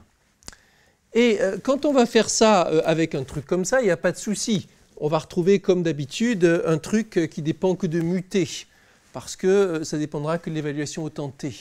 En revanche, quand on l'appliquera à ce truc-là, on va se retrouver avec un couplage entre x et y qui va perdurer. Et le couplage optimal va se réinviter dans les inégalités.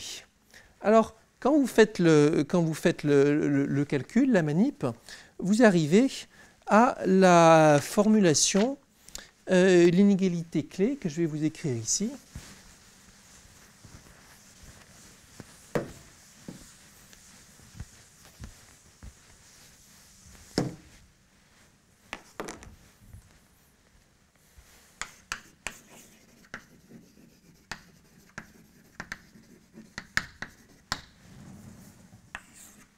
Intégrale de U de euh, rho t des nus, ça ne change pas, inférieur ou égal à, donc ça c'est quel que soit U appartenant à dcn, traduisant le fait qu'on euh, est en train de regarder des puissances moins 1 sur n de la densité, intégrale de U de rho t des nus, inférieur ou égal à 1 moins t, l'intégrale de U de rho 0 de x divisé par bêta 1 moins t de xy.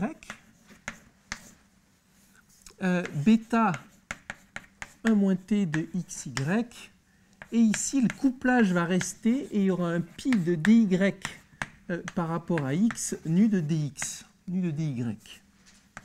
Euh, ici, nu de dx. Plus t intégrale de u de rho 1 de x divisé par bêta t de xy, bêta t de xy, euh, pi de dx, alors ici je vais mettre plutôt un y, c'est plus joli, pi de euh, dx sachant y, euh, nu de dy. Voilà. Alors, juste pour qu'on voit, sans faire le calcul explicitement, d'où ça vient et d'où viennent les probabilités conditionnelles,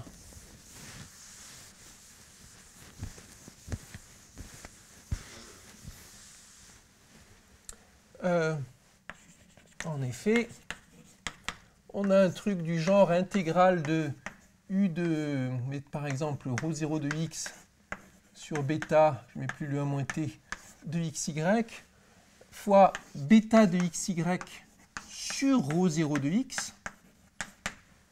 Et ici, on aura un euh, rho 0 de x, pi de dy sachant x, nu de dx, et ça, quand vous regardez ce que c'est, c'est la même chose que, alors nu fois rho 0, c'est pareil que mu 0, donc on a mu 0 de dx fois pi de dy euh, sachant x. Mais quand on écrit pi de dy sachant x, par définition, c'est la désintégration de pi par rapport à sa première marginale, qui est mu 0. Et donc ça, c'est la même chose que pi de dx dy.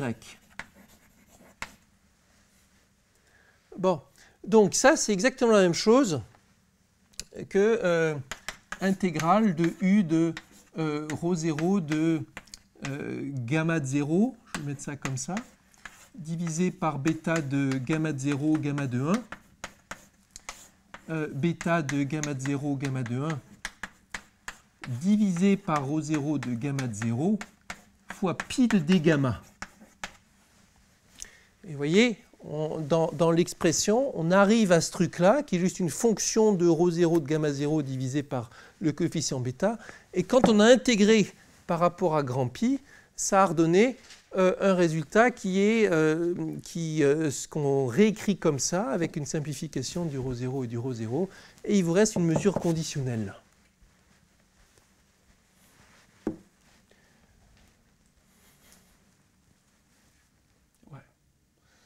Donc ici, on voit bien, s'il n'y avait pas les coefficients de distorsion, les y n'interviendraient pas, on s'en ficherait du pi dy par rapport à x, et on se retrouverait avec l'intégrale de u de ρ 0 de x nu de dx comme, euh, comme on avait avant.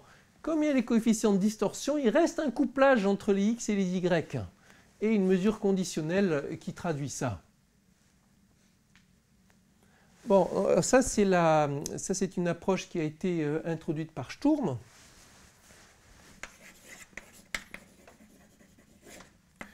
Et il reste un truc à régler, quel coefficient de distorsion on prend? Euh, Pour que ce soit une inégalité, évidemment, euh, euh, que ce soit une inégalité utilisable, il vous faut des coefficients de distorsion universels. Et vous avez le choix entre deux coefficients de distorsion possibles, les uns qui sont naturels si on veut, et les autres qui sont optimaux.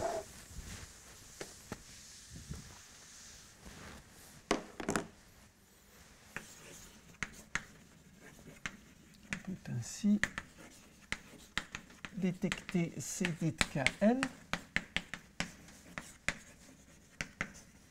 avec les choix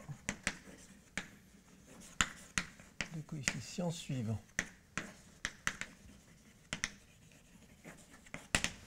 Premier choix, naturel, ou euh, je vais mettre plutôt d'abord, je vais mettre le choix optimal. Eh ben, on prend euh, bêta t de xy égale bêta t kn de xy, coefficient de distorsion, le vrai qui sur la sphère. Et il s'écrit, alors euh, dans le cas positif, dans le cas où k est positif, sinus de t alpha sur t sinus alpha, euh, puissance n-1, avec euh, alpha est égal à racine de n-1 sur de k sur n-1 distance de xy.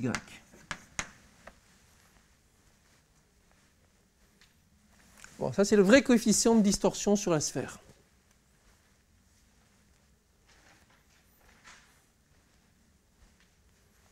Dimension n, euh, courbure k. Et puis il y a celui qui est naturel,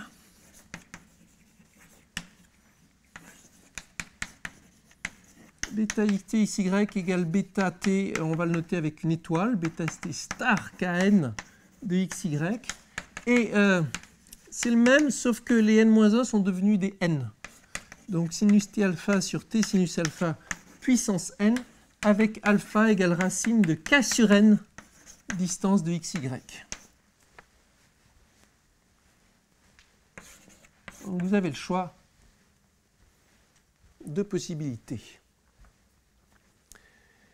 Euh, ces deux possibilités sont rigoureusement équivalentes au niveau des inégalités, au niveau de la caractérisation.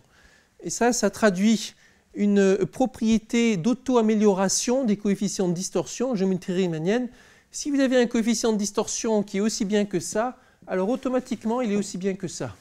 Et ça traduit la structure euh, particulière assez rigide de la géométrie riemannienne. Et euh, comment moralement, c'est quoi le passage de l'un à l'autre? Une fois que vous savez faire ça, pour aller à celui-ci, il s'agit d'enlever la direction dans laquelle il ne se passe rien, la direction du déplacement. Et euh, c'est pour ça que vous voyez, ici, il n'y a que n-1 direction au lieu de n. Donc ce coefficient de distorsion, là, il prend en compte le fait qu'on sent la courbure que dans n-1 direction sur les n.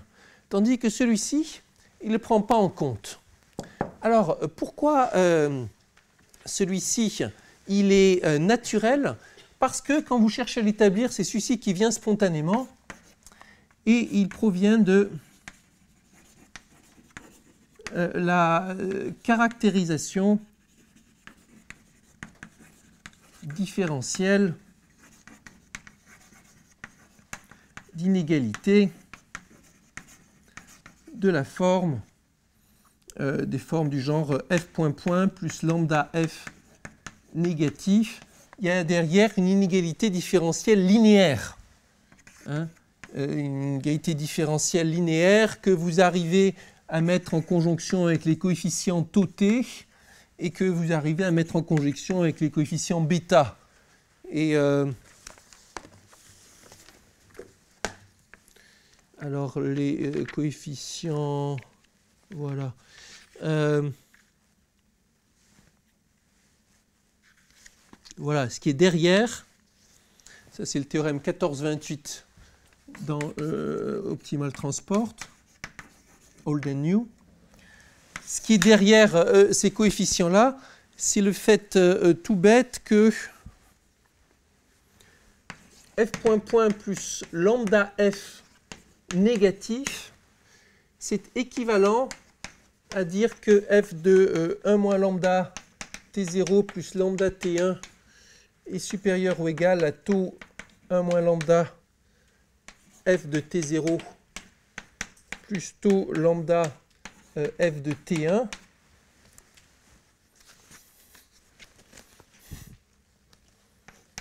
avec taux lambda de t0 moins t1 est égal à euh, sinus lambda t0 moins t1 racine de lambda divisé par euh, sinus t0 moins t1 racine de lambda. Donc si vous voulez, il y a un chemin, il y a un chemin simple et sûr qui mène à ces coefficients de distorsion. C'est on regarde l'inégalité qui est vérifiée par le déterminant jacobien à la puissance 1 sur n. Dans la liste d'inégalités qu'on avait, c'était celui-là, avec euh, f égale euh, f, j'avais appelé d. On regarde. De là, on passe à la représentation avec des coefficients en appliquant ce théorème, qui est un bête euh, comparaison avec des solutions explicites avec des sinus. Et de là, on passe à la représentation avec des bêtas. C'est un truc que vous pouvez refaire sans, vous, sans avoir d'état d'âme. Tandis qu'ensuite, pour aller de là à là, c'est plus basé sur une équation différentielle et une équivalence. Il faut retirer à la main la direction dans laquelle il n'y a pas de transport et vous allez appliquer sur le jacobien un petit coup d'inégalité de Hölder ou qui sait quoi. À la fin, les deux approches seront équivalentes dans le cas de géométrie riemannienne, mais rien ne dit que quand on appliquera des espaces non lisses, les deux approches sont euh, équivalentes et ça reste euh, l'un des euh, problèmes ouverts irritants dans l'ensemble de la théorie synthétique il y a des raisons de penser que à la fin, c'est quand même équivalent. Alors, je termine très vite en donnant une autre approche possible. Donc, ça, c'est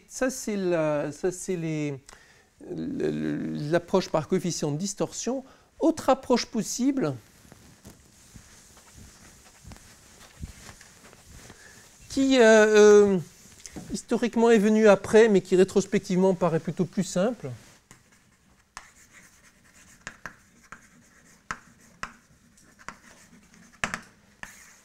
Alors, euh, restez avec les logarithmes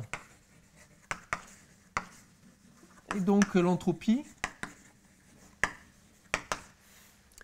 Et modifier euh, l'équation de convexité.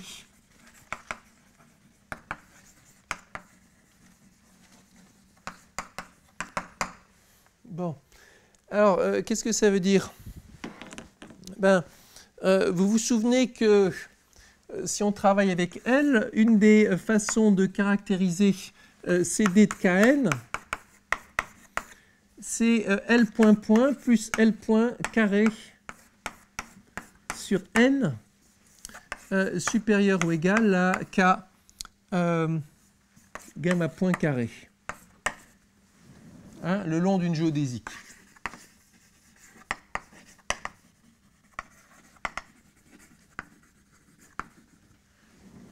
Bon, hein, et ces équations de Riccati. Et je vous avais expliqué, là aussi, on peut enlever le 1 euh, ou n, le transformer en n moins 1. Et d'ailleurs, c'est ça qui fait la différence entre l'estimation de Bonnet-Mayer sous-optimale et l'estimation optimale, etc. Mais peu importe. Donc, on a cette inégalité-là qui est dans notre panoplie. Eh bien, euh, on va euh, garder cette inégalité et on va voir ce qui se passe quand on intègre par rapport à mu.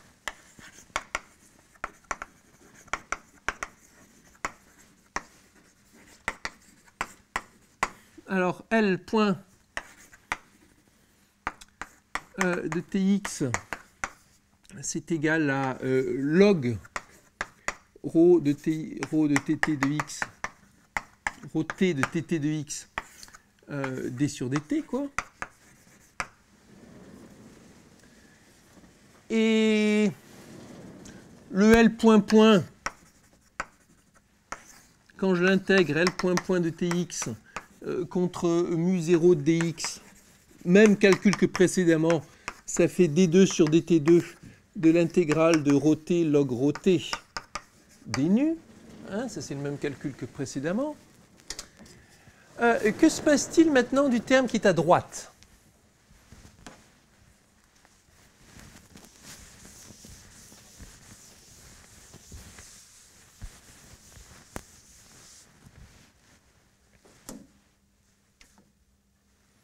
Que se passe-t-il maintenant du terme qui est à droite? Eh bien, euh, quand je regarde euh, k fois l'intégrale de euh, gamma point carré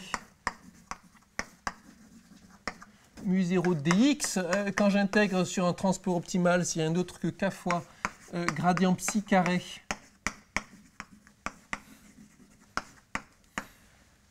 Mu 0 dx, gradient psi 0 carré mu 0 dx, on sait que ça c'est une constante euh, entre t égale 0 et t égale 1. C'est indépendant du temps. Et donc, c'est k fois euh, W2 de mu 0 mu 1 carré. Bon. Et euh, donc ça, c'est l'un, ça, c'est le deuxième. Et en revanche, évidemment, il y a le L point carré qui, lui, s'intègre pas bien. 1 sur n euh, intégrale de euh, L point carré euh, mu 0 de dx. Bon. il s'intègre pas bien, mais il y a une inégalité qui va bien aller. Et l'inégalité, que je dise pas de que je dise pas de bêtises, point, carré euh, oui, bien sûr, je m'étais planté.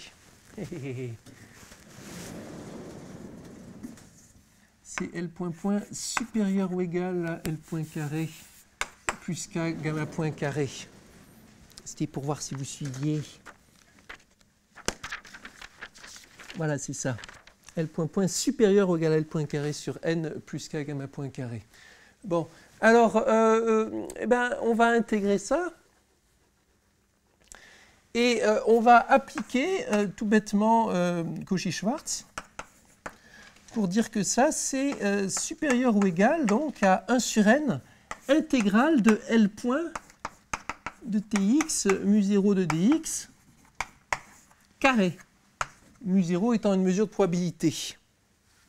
Bon, et ça, c'est 1 sur n fois d sur dt intégrale de rho log rho d nu par le même euh, raisonnement que précédemment, avec un carré. D'où cette approche alternative où il n'y a plus de coefficient de distorsion, qui dit on va garder, on va tout exprimer en fonction de l'entropie, un log, quelle que soit la dimension, mais c'est la forme de euh, l'équation de, de convexité qui va changer.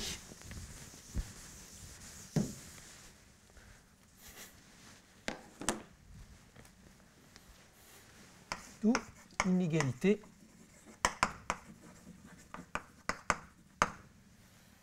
eh bien, h nu euh, point point supérieur ou égal à h nu point euh, carré sur n plus k euh, w2 de mu 0 mu 1 carré.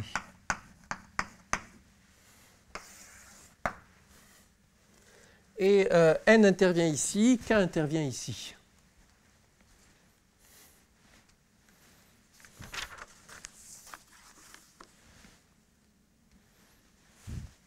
Voilà. Alors, il y a d'autres variantes et tout ça, mais les trois que j'ai indiqués ici, donc soit distorsion avec celui-ci, distorsion avec celui-là, ou euh, cette inégalité-là, c'est les trois qui finalement se sont imposés euh, pour donner trois notions synthétiques légèrement différentes euh, de, la, courbure de Ricci. Alors, cette approche-ci, on l'appellera, correspondra à ce qu'on appellera CD de Kn, euh, comme, dans le cas classique. Ça, on appellera CD étoile Kn. Et euh, celui-là, on l'appellera CDE Kn, E pour entropique, parce que ça utilise l'entropie, quelle, que soit la- dimension. Bon. Et euh, on verra, alors, dans, les courses. non, je vais vous faire un. je vais prendre 5 minutes pour faire juste un, avant-goût. Les trois sont équivalents sous certaines conditions. Bon, donc là, on est presque euh, arrivé à tout ce qu'il nous faut pour faire la, pour faire, pour euh, boucler ce, chapitre sur la rencontre. Un dernier point, euh, cependant, un dernier point, cependant, euh, ce qui a été, on va appeler ça condition riemannienne. Condition R, riemannienne. On va dire qu'elle est euh, surtout due à Gilly. Alors, si l'on utilise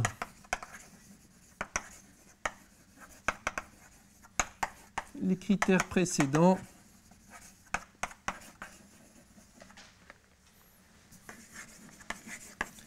pour définir des euh, notions faibles de euh, courbure dimension.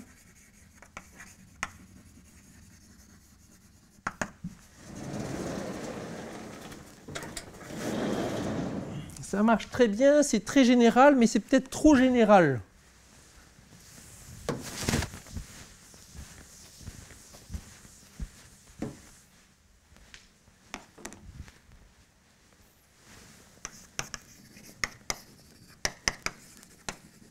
Très Euh, très bien pour certains problèmes.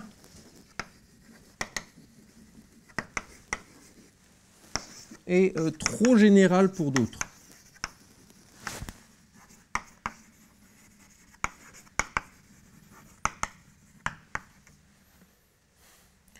Euh, Par exemple, et c'est celui-là qui faisait tiquer les gens, par exemple, insuffisant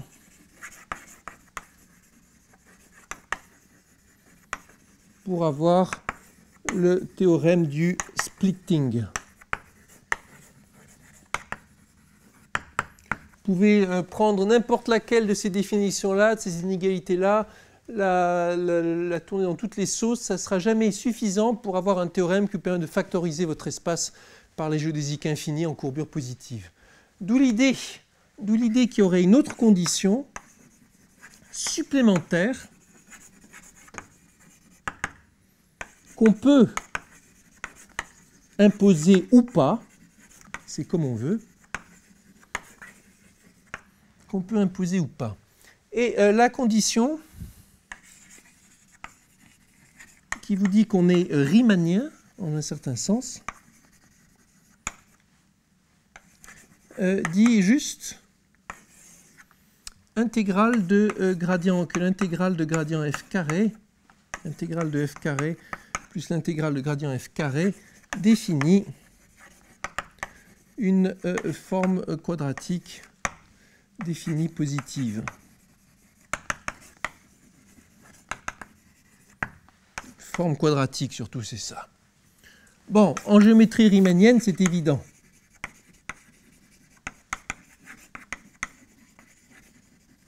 Mais ça le distingue de, euh, ça distingue géométrie finslerienne, non riemannienne.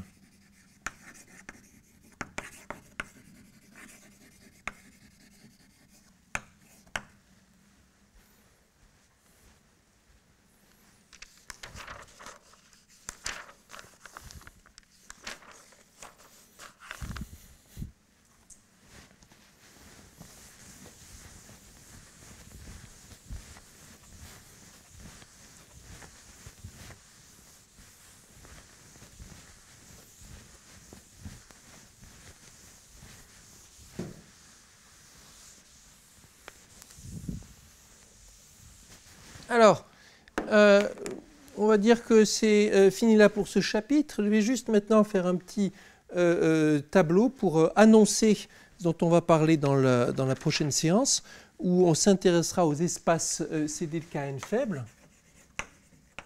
Espace faiblement CDKN.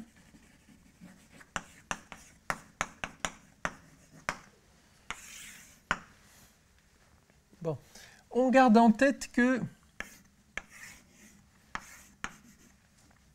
euh, c'est un petit dessin que j'avais fait la dernière fois. Le plus général euh, qu'on s'autorise, c'est les espaces métriques. Plus régulier que les espaces métriques, il y a les espaces géodésiques.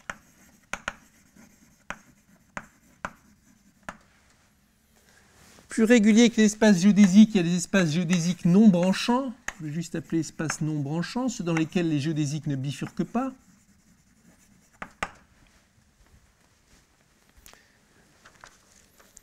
Et puis que euh, plus euh, régulier que les espaces euh, plus réguliers que les espaces branchants, on avait plusieurs on avait un choix entre plusieurs possibilités. Voilà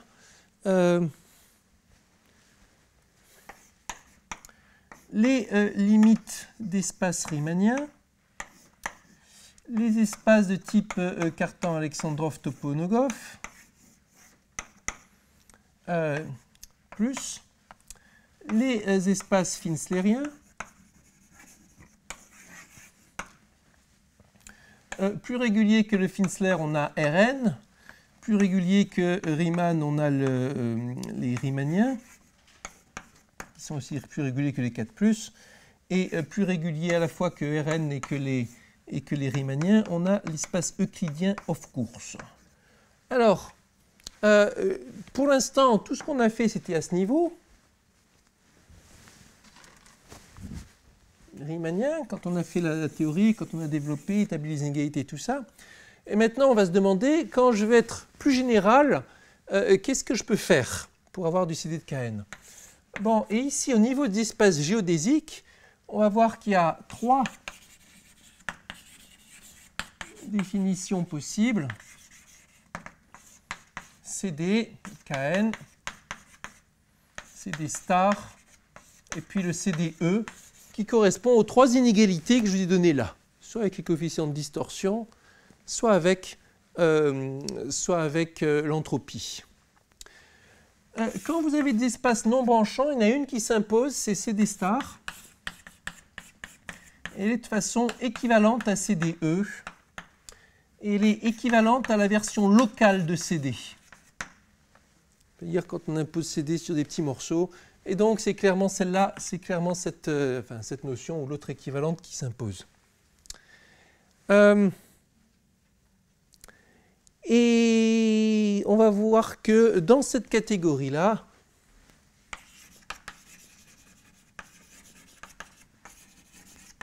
dans cette catégorie, on peut euh, généraliser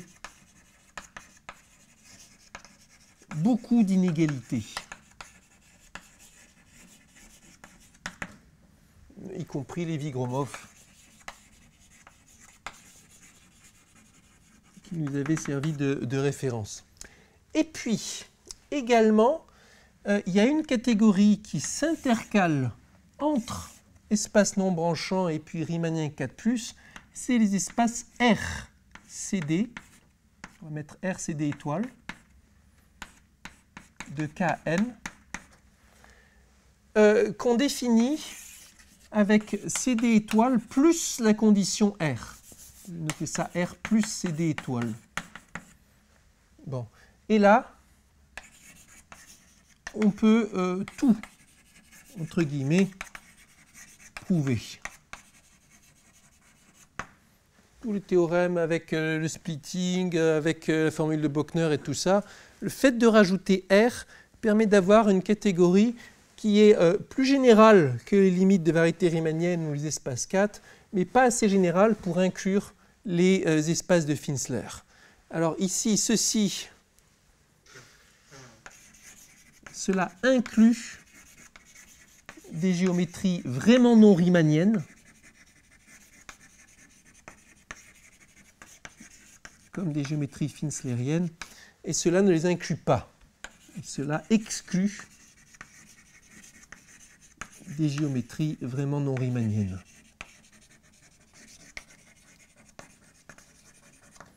Voilà. Donc si vous voulez, il y a trois degrés de, généralité qui vont se dégager. Premier avec juste espaces géodésiques et on ne sait rien d'autre. Ben, on a le choix, il y a les trois et euh, ils ne sont pas euh, équivalents les uns aux autres. Deuxièmement, les espaces non branchants, et là, on sait que c'est celui-là qu'il faut, celui faut utiliser. Euh, et puis, d'autre part, des espaces avec en plus la condition riemannienne, où là, il y a encore plus de... où là, il y a tout ce qu'on veut. Voilà l'idée. Question? Oui. Donc la Oui, condition R, elle est équivalente à dire que l'équation de la chaleur est linéaire. Alors il y a juste euh, il y a une euh, subtilité de savoir si l'équation de la chaleur est, définie ou pas. Et euh, le, l'idée, quand on la pose comme ça, on se dit c'est bêta, pourquoi on n'a pas fait ça il y a 100 ans et ainsi de suite le, truc, c'est que ce n'est pas bêta du tout, c'est que quand on combine, quand on regarde ça a priori, c'est pas bon si je mets juste ça parce que c'est pas stable par convergence de, de Gromov-Hausdorff euh, euh, et ainsi de suite. Mais si on combine ça avec CD, alors ça devient stable. R plus CD est stable alors que R tout seul n'est pas stable. CD rend R stable et alors ça devient un truc légitime. Et euh, effectivement, c'est lié au fait que la, chaleur est linéaire. Et pour le comprendre, ça, c'est c'est comme une condition du premier ordre. Euh, chaleur linéaire, si chaleur c'est la dérivée de l'entropie, c'est une condition de premier ordre. On voit pourquoi ça serait stable. Tandis que quand on le combine avec l'autre truc, la courbure c'est une condition du second ordre. Et là on comprend. Le dérivé d'ordre 1, elle est stable quand je suis dans une situation convexe ou un truc comme ça. Quand j'ai une borne inférieure sur la dérivée seconde, alors la première dérivée passe à la limite. Et, donc on a, la, stabilité. Donc ce qui était le coup de génie, c'était de, rajouter cette condition à la condition euh, courbure et d'en faire une condition à part entière. Et donc effectivement, euh, on rajoute la courbure. On peut montrer que le flux de chaleur est toujours défini. Ça c'est un très beau résultat de Ambrosio Gilli Savare. Et cette condition-là équivaut à dire que euh, le flux de chaleur est linéaire.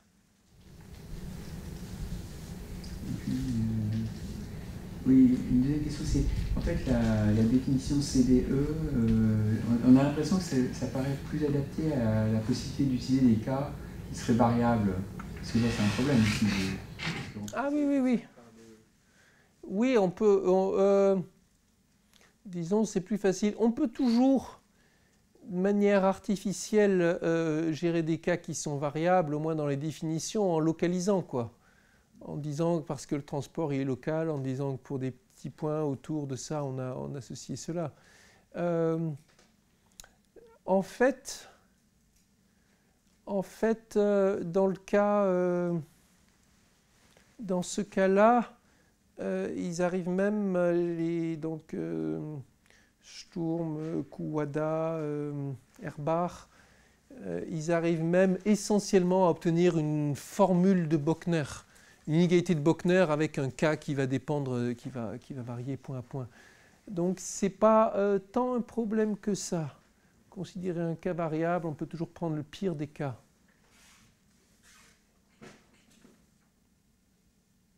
Ouais. Autre question? On est OK?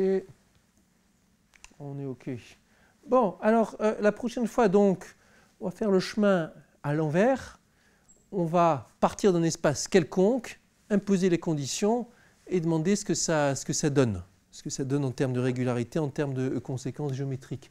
Ce ne sera plus un espace euh, riemanien, ce sera un espace euh, métrique sur lequel on imposera qu'il vérifie telle et telle condition. On se demandera euh, quelles sont les propriétés de ces espaces métriques et comment ils sont stables les uns les autres et ainsi de suite. Voilà. Et donc, euh, euh, à suivre la prochaine fois, début 2016. Espace non, non, non, non, métrique, métrique. Métrique, espace, espace métrique. Espace sera métrique. Et localement compact. complet localement compact. Ouais.